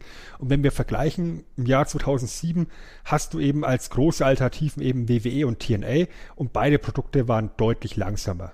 Sogar, sogar die X-Division von TNA, die, die damals noch echt gut war, aber halt trotzdem ein ganzes Stück langsamer als das, was du hier bekommen hast. Natürlich auch hier wieder dem Schnitt geschuldet. Ja. Aber wenn du halt nicht großartig Wrestling erzählen musst, sondern einfach nur Athletik abspulen kannst, dann, dann kannst du halt auch einen 3-Minuten-Sprint hinlegen. Definitiv. Und es ist dann auch in sich selber auch sehr glaubwürdig. Dann, wenn alle Matches so eine gewisse ja, Kürze haben, dann ist es auch schon wieder okay. Weil wenn jetzt, was weiß ich, du hättest jetzt ein 3-Minuten-Match, noch ein zweieinhalb Minüter, dann hast du ein 4-Minuten-Match und dann kommt so ein 20-Minütiger. Das wäre dann irgendwie akklimatisch. Ja, wobei eben dann hier Evans und, und der Tornado mit dem 10 Minuten Time Limit auch halt, halt echt herausgestochen ist dann, ne? Ja, ja. Also 10 Minuten in Anführungszeichen. Beziehungsweise es können ja durchaus 10 Minuten gewesen sein, denn wir hatten auch in diesem Match eine Unterbrechung und so das coming soon nach dem nächsten Werbeunterbrechung. Und dann wurde halt so zwei, drei Bilder gezeigt, was während der Zeit passiert ist und dann weiter. Ja, aber ich meine, da muss man halt die Augen zudrücken. Das ist halt dann wieder Wrestling-Logik. Ja, genau, ja? genau, genau. Ne? Also da müssen wir halt glauben, dass 10 Minuten gewesen, waren. aber halt mit Werbung. Ja. Ja. Und ist effektiv ja okay. hast du dann halt zwei gesehen. Aber.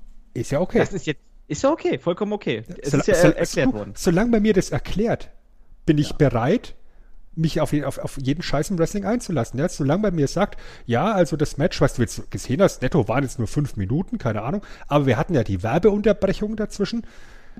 Okay. Gekauft. Nehme ich.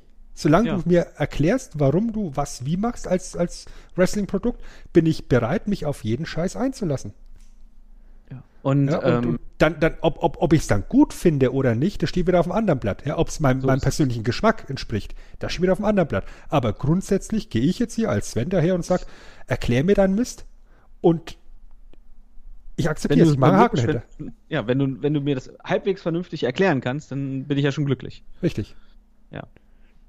Ja, und das können sie ja. Das ist ja das große Plus, dass sie eben ihre Sachen in sich selber sehr schlüssig sind. Ja. ja. Dass dann natürlich dann alle möglichen Gegenstände explodieren. Ähm, ist halt fancy. Das ist halt dann, ja, fancy pansy, genau. Sehr viel, sehr viel Effekthascherei. Es ist halt für also deutlich halt jüngeres Publikum machen, halt. Ne? Du, willst, du willst mit einem Wrestling-Produkt ins Mainstream-Fernsehen. So, du hast die WWE und du hast TNA. Beide bieten ein mehr oder weniger Standard-Wrestling-Produkt. Richtig. So. Und du musst doch irgendwas machen, um Aufmerksamkeit zu erhaschen. So. Und dann machst du erstmal provokativ, bei uns explodiert alles. So nach dem Motto, ne? Und ja, okay, wie Wrestling, da explodiert was. Ja, mal gucken gucken wir mal rein, was denn da jetzt wirklich passiert. Und da hast du die erste Episode mit Phils in the Fury, die mit Stromkabel. Nee, das war noch nicht die erste Episode, ne? Mit Stromkabeln? Nee, das war nicht die erste. Das war in der zweiten, glaube ich. Ja. Aber in der ersten Episode war auch schon, wo er schon Sarg explodiert ist. Ja. Oder in der zweiten Episode eben, wo, wo Phil und Fury einen Typen Elektroschock verpassen. Ja. Ja. Ja. Also du hattest, genau, du hattest den, der hattest den WSX Rumble in der ersten Episode. Ja. New Jack. Braucht oh. es mehr. Explodierende Särge. Ja. ja. Ja, das ist, das ist halt dann tatsächlich ein Alleinstellungsmerkmal. Und ähm, insofern war die Idee schon richtig, weil produktionsmäßig kannst du nicht gegen die WWE anstinken. Auch nicht gegen TNA. Und deswegen musst du halt anders sein. Äh, das ist auch der Grund, warum eben Lucha Underground jetzt so lange gut gelaufen ist oder so, so, was heißt gut gelaufen, so viel Zuspruch bekommen hat, nimm es so, weil es eben tatsächlich ein komplett anderes Programm geliefert hat, wie die WWE. Ja, definitiv. Ja, oder das ist auch ähm, der Grund, warum eben äh, gerade auch so viele Leute anfangen, bei, über New Japan zu meckern, weil die eben so sich, sich, sich äh, verwestlichen. Mhm. Ja, ich habe gerade zufällig rausgefunden, dass Filth in the Fury und Team Dragon Gate trotz in Episode 4 war. Der Sieg. Okay. Filth in the Fury. Also war nicht bei, Ex bei Extra. Gut. Dann, dann haben wir das auch noch geklärt. Ja. Wen wir leider echt gar nicht mehr gesehen haben, eigentlich waren die Trailer Park Boys. Mhm. Nur zum Schluss jetzt nochmal von Vampiro vermöbelt. Und die äh, Ruckus und, und äh, Baby Slim. Na gut, ist immer so, jede Show, wo ich Ruckus nicht sehen muss, ist eine gute Show. ja, aber sie wurden halt auch einfach nicht mehr, sie sind halt einfach nicht mehr aufgetaucht. Ja. So wirklich. Also nicht zumindest in den, in den Hauptshows. Ja. Äh, Jimmy Jacobs und Tyler Black ja dann auch nicht mehr. Nee. Äh, 70s Team eben auch nicht mehr. Puma war raus, dann irgendwie, den hat ja. man nur einmal gesehen. Chris Hamrick, New Jack. New Jack haben wir ja auch nur einmal gesehen. Oder, oder, oder Dingsbums, äh, Just, Just Incredible. Auch den, genau. War ja auch nur in der ersten Show mit bei. Ja. Hat dann erkannt und sich gedacht, ne. Ne. Machen wir nicht. Ja. Und auch dieser besagte, äh, den man in der ersten Folge gesehen hat, Marcus Riot, der Mega-Fan von Jack Evans. Mhm. Die Story ist auch nur bei Extra dann noch gelaufen. Genau, das haben wir auch dann in den Hauptschuss nicht mal aufgelöst. Richtig. Ja. Und bleibt uns jetzt, glaube ich, dann sozusagen nur noch eine, eine, eine, eine, Note geben auf das Ganze? Oder? Wenn du es möchtest, können wir gerne machen. Ja, würde ich sagen. Ne? Geben wir noch eine Note des Ganzen. Mini-Fazit hatten wir ja jetzt, beziehungsweise ein langes, breites Fazit, schmutzig und lang. Ähm, ich würde diesem ganzen Produkt wohlwollende 5,5 Punkte geben. 5,5. Dann, dann. Weil wenn wir, wenn wir halt über, drüber nachdenken, ähm, ich, wir haben ja jetzt vor kurzem ähm, Dings gehabt, äh, 70th Anniversary Show von der NWA. Mhm. Und da haben wir auch massiv abgezogen für die Produktion. Und dann muss ich das hier auch machen. Ja, ich, ich weiß nicht mehr genau, was wir gegeben haben. Da bin ich mir gerade nicht mehr 100% sicher bei 70s. Das weiß ich jetzt auch nicht mehr. Aber ich glaube, es war nicht allzu viel. Nee, ich, ich glaube so, so um, um, die sechs oder sowas, ne? Ja, genau. Und dann würde ich diesem hier halt einfach eine 5,5 geben. Ja, ist, ist, eine, ist eine faire Wertung, denke ich. Ähm, ich gehe ein bisschen drunter. Ich gebe einen klassischen Bret Hart, also 4 von 10. Okay. Ähm, einfach weil es auch nicht mein Stil ist, ja. Ich anerkenne, mhm. wie gesagt, eben die, die Ideen, die sie hatten und es ist eben nicht ganz schlecht. Also dafür, dass wir es eben in, in, den, in die Kategorie Schleewatz packen, ja, da, dafür ist es eigentlich zu gut tatsächlich, ja, also vom Wrestling ja. her. Also alles, was ich unter schlechtestes Wrestling aller Zeiten laufen habe, müsste eigentlich irgendwie so in der 1 bis 2 Punkte Marke höchstens sein. Ja, und ich meine, ich habe äh, schon deutlich schlechtere Shows in der Time Machine bewertet. Ja, also so ist es nicht. Ähm, 4 von 10 ist, war, ich, Man redet natürlich jetzt nicht von Starcade 93, ne? Nein. Ich, Nein. Rede, ich, rede, ich rede ganz konkret jetzt hier von, na, wie ist es, an, an, an, Unsanctioned? Uncensored. Uncensored, Uncensored, Uncensored genau. Das war, das war ja Humbug. Oder, oder den, den, ähm, oder, oder December, December to December. Das, das war Humbug. Ja, also da, da ist hier Wrestling Society X Guckvergnügen dagegen, also ganz ehrlich. Und insofern finde ich 4 von 10 ist da, ist da schon eine gute Bewertung, eine faire Bewertung auch. Und ja. Wenn euch das Produkt eben Spaß gemacht hat, umso besser. Also nur weil wir es jetzt eben hier in Schleberts reinpacken, heißt es noch lange nicht, dass wir es scheiße finden und ihr es nicht gut finden dürft. Ganz im Gegenteil, ja, weil dafür sind ja Wrestling-Geschmäcker unterschiedlich. Eben. Ähm, und wer, von, um das mal als, als krasses Beispiel herauszunehmen, wem ein Ten-Man Genie in the Lamp Ladder gefällt, dann ist das auch vollkommen okay. Ne? Ich möchte niemanden seinen Spaß daran nehmen. Ich halte es nur für halt ein bisschen für komisch. Aber ja. Und, und ich persönlich, ich bin jetzt nicht so der, der, der, der große Freund von Ultra-Violent-Matches. Ich würde mir zum Beispiel jetzt hier Wrestling Society X tatsächlich auch eher angucken, als so eine random King of Death. Ultra-Violent Show, wo es einfach nur darum geht, möglichst viel zu bluten um des Blutens willen. Ja, dann, dann, dann schaue ich mir doch lieber an, wie der Ring wackelt, wenn Vic Grimes Eben. springt. Also, anerkenne ich Teddy Hart das. jemanden ein Stromkabel in die Brust drückt. Ja, oder, oder eine Shootingstar vom Balkon hat. runterspringt. Das ist, ja, dann eher das. ne? Ja. Und wer auf sowas steht, der kriegt das alles hier. Absolut. Ne? Ja. So. Und ich würde sagen, wir sind mehr oder weniger durch mit dem Ganzen, ne? Richtig, dann können wir tatsächlich noch im Jahr 2018 Wrestling Society X abhaken. Haben wir auch das hier mal von der Bucketlist runter im, im, im WTR. Ja. Also war eigentlich nur eine Frage der Zeit, wann das Thema mal auf den Tisch kommen muss. Und äh, ich glaube, ich glaub, das war ja deine Idee, glaube ich, das, das, das ja. zu besprechen. Ne? Genau. Und aus irgendeinem perversen Grund habe ich dann als erster gesagt, okay, schaue ich mir Geil, an. will ich. ja, ich als großer Mad Wrestling Fan und und Sven, ich höre dich schon wieder, hab dich gerade schon wieder leider nicht mehr gehört. Okay, hörst du mich jetzt wieder? Ja, jetzt höre ich dich wieder. Okay, ja. Ich denke, solange alles in meiner Aufnahme hier okay ist, brauchen wir uns keine Gedanken machen. Also Eben. ich höre dich weiterhin gut und dann sollte es eigentlich safe sein. Ich denke, es liegt an meiner, an meiner Verbindung, dass die gerade irgendwie ein bisschen matschig ist. Ja. ja. Aber wie gesagt, also ähm, und ich möchte sagen, ich bin bei Vodafone.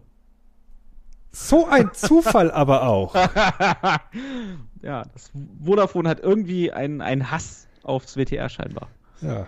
Also ich habe es mir gestern Vormittag noch gedacht. Ich habe gestern Vormittag äh, hier am, am, Rechner gesessen und da hatte ich hier auch mal kurz einen, Ru einen Router-Neustart so aus dem Nichts.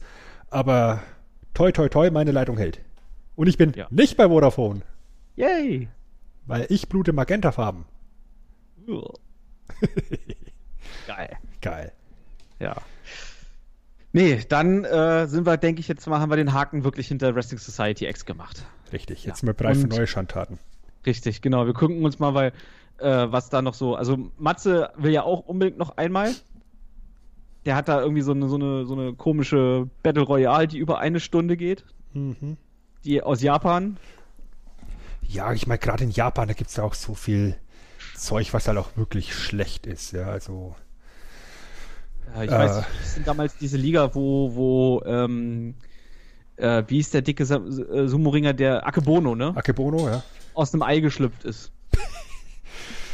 Ja, also da gibt es ja auch die, diese ganz berüchtigten Geschichten. Ich meine, die hat der Nico ja, glaube ich, bei uns auch schon mal in der, in der Gruppe erwähnt, ja, das, das Island Deathmatch, was über zwei Stunden geht. Äh, ja. Äh, Und eigentlich wäre Schlewarts ja fast schon das richtige Format für, für Heroes of Wrestling, aber. Da haben wir ja schon mehrfach gesagt, irgendwie, dass das irgendwie vielleicht, weil man ja auch nicht zu sehr draufhauen möchte, eigentlich irgendwie, ne? Wir versuchen ja nicht, also in dem Sinne draufzuhauen bei Schlewarts. Ich glaube, das, das, das wäre ein, ein Trugschluss. Und wir sagen ja auch immer, weil wir dann ja gerade, weil wir dann halt echt manchmal echt im Backyard-Bereich irgendwo ankommen, ne? Dass äh, man das bitte nicht unbedingt zu Hause nachmachen sollte. Ja. Also insofern sticht auch jetzt hier dieses Wrestling Society X tatsächlich im Schlewarts-Format ein bisschen raus, weil die bisherigen Schlewarts-Folgen halt auch echt sehr backyardig waren. Genau. Und Wrestling Society X halt dann durchaus ein professionell produziertes Produkt war. Richtig. Ja, also da muss man schon differenzieren. Also wir möchten da auch gar nicht irgendwie behaupten, ihr Wrestling Society X ist Backyard. Ja, da musst du einfach nochmal angucken, wer da im Ring steht. Das sind wirklich top ausgebildete Wrestler. Ja. Und New Check. Ähm, ähm, ja, also da muss man schon differenzieren aus meiner Sicht. Und ähm, ich habe da echt Skrupel, über, über Heroes of Wrestling zu sprechen. Ich, ich, ich möchte es eigentlich nicht in die Time Machine packen, weil da würde es mir das Herz zerreißen. Ich möchte es nicht in Schlewarts packen, ehrlich gesagt, weil es würde mir das Herz zerreißen, weil da einfach so viele, ja, Leute dabei sind, mit denen ich in Anführungszeichen aufgewachsen bin. Ja, eben, Und das ist es. Das möchte ich nämlich eigentlich auch nicht. Ich möchte mich da jetzt nicht irgendwie, weil das ist einfach tragisch, wie die da teilweise ja. eben. Also, also gerade gerade im Jake Roberts, wie er da Manuel durch die Gegend torkelt, das ist einfach tragisch und dann. Mh. Ja. Weißt du, es ist natürlich so eine, so, so eine perverse Lust, wäre natürlich schon da, irgendwo vielleicht das Ding zu besprechen, aber auf der anderen Seite habe ich auch viel zu viel Respekt vor der Show und mh, hm, ich weiß nicht. Also, ob wir jemals äh, darüber sprechen werden. Schneewarts technisch bei Heroes of Wrestling landen? Ich glaube es ehrlich gesagt nicht. Ja, oder, also, gen oder generell. Also ich, ich möchte eigentlich. Die, wenn die, das jemand machen möchte, kein Problem. Ich glaube, ich möchte es nicht. Nee, also ich bin da auch nicht wirklich begeistert von. Aber naja, mal gucken. Also das Problem ist, das ist wirklich so ein Event, wo du nicht weißt, wo du ihn hinpacken sollst. Machst du ein Roundtable draus, wird's, glaube ich, wird's dir wehtun. Machst eine Time Machine draus, wird's dir wehtun. Machst einen Schlewarts draus, wird's dir wehtun. Machst einen Upside Down noch dazu, wird's noch, dann kannst du wieder sagen, geil! Aber dann musst du halt auch wirklich zwei finden, die denen das wirklich gut gefallen hat. Mhm. Ja. Und dann find die zweimal. Ja, also wie gesagt, äh, da bin ich sehr kneifzangig aktuell, was die, was die ja. Show betrifft. Aber ansonsten, wir, wir, finden bestimmt irgendwas, was in die Richtung schlechtes Wrestling geht, wo wir dann Schlewarts wieder auspacken können. Also das wir Format ja wird auf alle Fälle wiederkommen im Jahr 2019. Definitiv. Und ihr dürft uns auch gerne weiterhin irgendwie was empfehlen. Ne? In den Kommentaren. Dann, damit wir da auch nochmal weiter Input kriegen. Ja. Und dann bleibt uns jetzt, glaube ich, nur noch mal zu gucken, was denn jetzt der Rest des Jahres noch so ansteht. Ja, ganz traditionell, unser letzter Roundtable im Jahr steht noch an. Ähm, mhm. Der wird, wie eigentlich immer im Wrestling Talk Radio, Final Battle betreffen. Und zwar werden sich der Matze und ich dahinter hocken und werden Final Battle reviewen für euch. Und dann haben wir. Ja, die Opening Bell läuft jetzt eigentlich, müsste zur TLC gerade gestartet sein. Genau, also die müsste jetzt eigentlich ziemlich zeitgleich parallel laufen, während wir jetzt hier in der, in der Verabschiedung genau. sind. Da besprechen sich dann der, die Nicole, der Jan und das Monster. Das Monster. Wir haben es schon angeteased. Er ist wieder da. Ja. Zumindest mal jetzt für TLC. Der Mark. Mal gucken, ob der Jan am Start ist, ob es ob, Vodafone zulässt. Ja, definitiv. Wenn, wenn der mir gerade schwierig ist, ich meine, bei denen die Leitungen da in der Erde, die sind ja noch. ja, die hat ja Honecker noch verlegt. Ja, höchstpersönlich. Ja. Genau. Ja. ja. und ansonsten noch den Roundtable natürlich dann zu TLC in der gleichen Besetzung. Ja. Und natürlich, wenn ihr das jetzt hört, äh, am Veröffentlichungstag oder kurz nach der Veröffentlichung, habt ihr noch Zeit bis Ende der Woche und könnt noch äh, eure Stimmen abgeben in unserer Umfrage zum Wrestler des Jahres, Match des Jahres, unsere große WTR-Umfrage. Ihr habt es ja bestimmt auf der Seite schon gesehen oder auf Facebook gesehen. Könnt ihr gerne natürlich noch eure Stimmen abgeben. Und dann gibt es natürlich, wie jedes Jahr, am 31. Dezember als letzte Show des Jahres unser Year in Review. Und da sind wir gerade am Planen, ja. wie wir das äh, aufnehmen. Und ihr bekommt am 31. Dezember hoffentlich, Ausrufezeichen, pünktlich, äh, einen schönen langen Podcast, der so, ich würde mal sagen, 20. 33 Stunden gehen wird. Ja, kommt hin. Und das Besondere in diesem Mal ist, dass ihr sozusagen, wenn ihr um 0 Uhr wird das quasi nicht live übertragen, aber sozusagen, es wird dann Premiere aufgeführt und ihr könnt dort mit währenddessen schon kommentieren, also in einem Live-Kommentar sozusagen. Also das ist eine neue Funktion von YouTube, die wir da ausprobieren. Mal gucken, ob das äh, angenommen wird. Angenommen Am 31.12. vielleicht ein bisschen schwierig um 0 Uhr. Ach, das es gibt genug Nachtgiger, das, das passt ja. schon. Ja. ja, ich meine wegen Silvester. Ach, Silvester. Ah, Überbewertet. Es, es, ist ja nicht der 1. Januar, wo wir starten. Es ist der, also die Nacht vom 30. auf den 31. Ne? Das ist richtig. Nee, oder? 31, 30. auf 31. Müsste. Wenn, Müsste? Wir am, wenn, wir am 31. veröffentlichen, müsste es die Nacht vom 30. auf den 31. sein. Das ist durchaus richtig. Da Würde ich jetzt einfach mal behaupten. So. Ja, das war jetzt ein, in meinem von, von mir ein nicht mehr ganz so jugendlichen Leichtsinn. Ja. Nee, das war ein Brainfart von mir. Nee, das ist dann natürlich richtig. Dann könnt ihr euch natürlich in der Nacht, weil ihr müsst euch ja sozusagen trainieren dafür, dass ihr am 31.12. auf den 1.1. Äh, fit seid, natürlich euch die Nacht vorher schon um die Ohren schlagen und euch das wir in Review anhören. Danach könnt ihr schlafen gehen und seid dann bestens präpariert für Silvester. Richtig. Ja. Also wir bieten hier auch noch Service. Ja. Ja.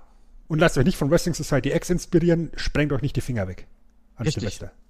Und baut keine Piranha-Becken auf. Naja, ich meine, würde mich ja schon mal reizen. Ja, Blei, Blei, Bleigießen mit Piranha-Becken. Muss dann die, äh, die, dein, dein Metallteilchen da, musst in ein Piranha-Becken reinkippen und musst es dann da rausholen. Bleigießen darfst du ja nicht mal verkaufen. Nee, darfst nicht mehr verkaufen. Nee, also Blei oder? Ist, ist, ja, ist ja bleihaltig. Äh, so aus dem Nähkästchen geplaudert. Wir, wir, mussten letztes Jahr dann zum ersten Mal Wachs gießen. Ja, also wo du dann praktisch so ein bisschen Kerzenwachs äh, geschmolzen hast und das dann in Wasser schmeißt und äh, funktioniert, ja. ich sag nicht. mal, nicht. Mein Gott. Hippie-Scheiß. Alles Genau. Ja, so ein bisschen Blei wird. hier. Ja. Weißt du, die, die, Leute, die Amalgamfüllungen im Mund haben, ja, die kommen mir an und wollen mir Bleigießen verbieten. Gut, so. dann haben wir das auch gemacht. Fehlt uns jetzt eigentlich nur noch der Werbeblock. Äh, hier, ne? YouTube könnt ihr unsere Videos dann halt immer um 12 Uhr nachts als erstes hören. Ähm, da könnt ihr uns dann natürlich folgen, abonnieren und bla und hast du nicht gesehen. Auf Facebook kann man uns fünf Sterne geben, auf iTunes kann man uns fünf Sterne geben und natürlich auch ähm, dort nette Kommentare hinterlassen. Da freuen wir uns immer drüber. Wie immer mit Kritik vorsichtig sein, wenn man ähm, natürlich berechtigte Kritik hat, dann ist die auch gern gesehen und dann werden wir uns das auch zu Herzen nehmen. Wenn man natürlich kriti etwas kritisiert und sich das dann scheinbar noch nicht mal angehört hat, dann ist es natürlich nicht so toll. Richtig. Ähm, und ansonsten haben wir noch ein bisschen Twitter und Instagram und diesen ganzen Krams. Und ja, ansonsten über die Homepage in unserem Archiv, ne, Sven? Mhm. Ich glaube, da findet es für jeden Geschmäckle was dabei. Richtig. Das sind wir ja bei mittlerweile fast 850 Ausgaben WTR. Bam. Und wenn ihr dann von unseren engelsgleichen Stimmchen noch nicht genug gehört habt, da könnt ihr gerne mal bei Matze noch vorbeigucken auf dem Twitch-Kanal der spielt. Seine LPs reingucken oder Nerdhard. im Nerdhard Radio mal reingucken und euch die Comic Reviews von Matze angucken oder auch die eine oder andere abgestaubt Folge von Chris und mir. Ähm, und ich mache bestimmt irgendwann auch mal wieder irgendwas. Ja. Da kommt jetzt auch noch unsere kleine Weihnachtsfolge zu, zu ah, abgestaubt. Zum, zum, ne? Nein, nein, nein. Viel besser. Zum prominentesten Zipfelmützenträger der Welt. Nehmt den guten Link. Ah, stimmt, da war was. Ja, ja Legend of Zelda wird unser Thema. Da sitzen wir jetzt dann morgen zusammen und nehmen was auf. Äh, Total weihnachtlich. Ja. Ja. Zipfelmütze. Entschuldigung. Entschuldigung. ich habe nichts gesagt. Entschuldigung. Ja, also auch da könnt ihr gerne reingucken ins Nerdhurt Radio und ja. Ansonsten, wenn wir uns bis Weihnachten nicht mehr hören, äh, dich hört man, glaube ich, an, genau an Heiligabend. Kommst du raus mit Final Battle, so wie ich das hier überblicke. Und, oh, oh, oh, oh, mich hört ihr bis dahin nicht mehr und ich wünsche euch jetzt schon mal schöne Feiertage und lasst euch reich bescheren und beschert andere ganz reich. Und ja, wünsche euch dann eben ein schönes Fest. Und ich gebe nochmal an Sven ab, der darf sich auch nochmal verabschieden. Ja, dann bedanke ich mich als allererstes natürlich bei dir, Basti, für A, die Idee und B, die Zeit. Äh, das ist ja gerade letzte ist ja bei dir immer ein bisschen schwierig zur Zeit. Ah. Aber haben wir ja jetzt noch gut unterbekommen im Jahr 2018. Dann natürlich bei euch da draußen fürs Zuhören. Ähm, Gerade was das Thema Schlewarts betrifft, locker durch die Hose atmen, Freunde. Generell im Wrestling, locker durch die Hose atmen, Freunde. Ja, alle mhm. sind Wrestling-Fans. Ja, nicht gegenseitig hauen, sondern gegenseitig alles gut finden zusammen. Und ansonsten, ja, du hast gesagt, wir hören uns dann wieder bei Final Battle und allerspätestens dann im, hier im Review wieder. Macht's gut. Ciao.